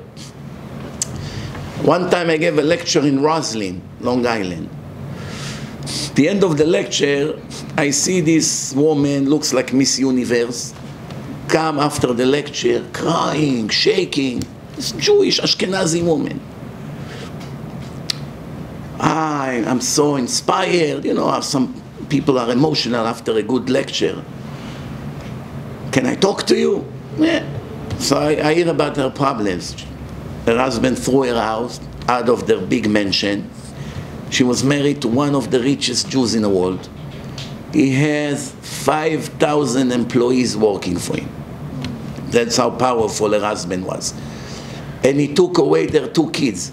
She can only see the kids on Sunday. He bought her a nice apartment somewhere that she have where to live. He gives her monthly allowance, and that's it. I asked her why. He caught me with cocaine few times. She has drug addictions. I'm struggling with that, you know. Cocaine, the drug of the rich people. He gave her ultimatum once, twice, three times, I don't know how many times, threw her out. He has lawyers, judges, everyone in his pocket. She had no chance to fight. He said, take it or I won't even give you that. She agreed. So now she's broken from her life. She came to a Torah class. Someone brought her. Come see what uh, religion is. So she's starting to become religious, but she's totally ignorant. She never learned in her life. She didn't go to yeshiva, nothing. She started to come few lectures. About two, three months later, she comes to one of my lectures, again in Long Island, with an Italian goy.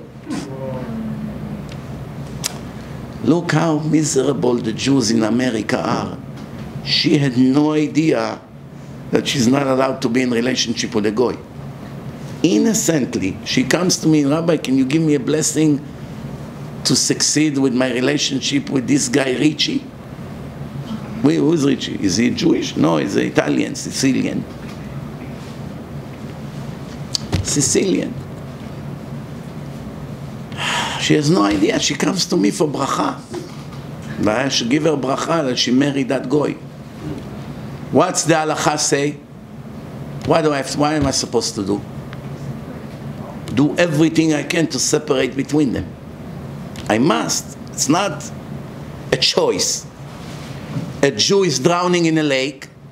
If you don't jump to save him, you are almost a murderer. Why? You let someone drown. לא תעמוד על דם רעך. The guy came to me, the goy. He was inspired by the lecture, the goy. Said, what do you think about me and her? I said, can I talk to you on the side? But you promised me not to say anything?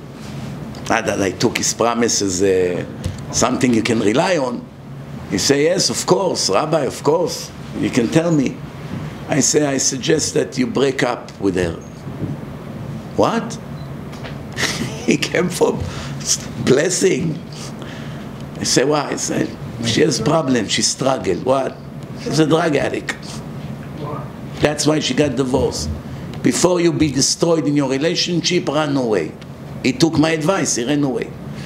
The next day she left me such a recording. If you hear the curses, she was cursing me on the phone.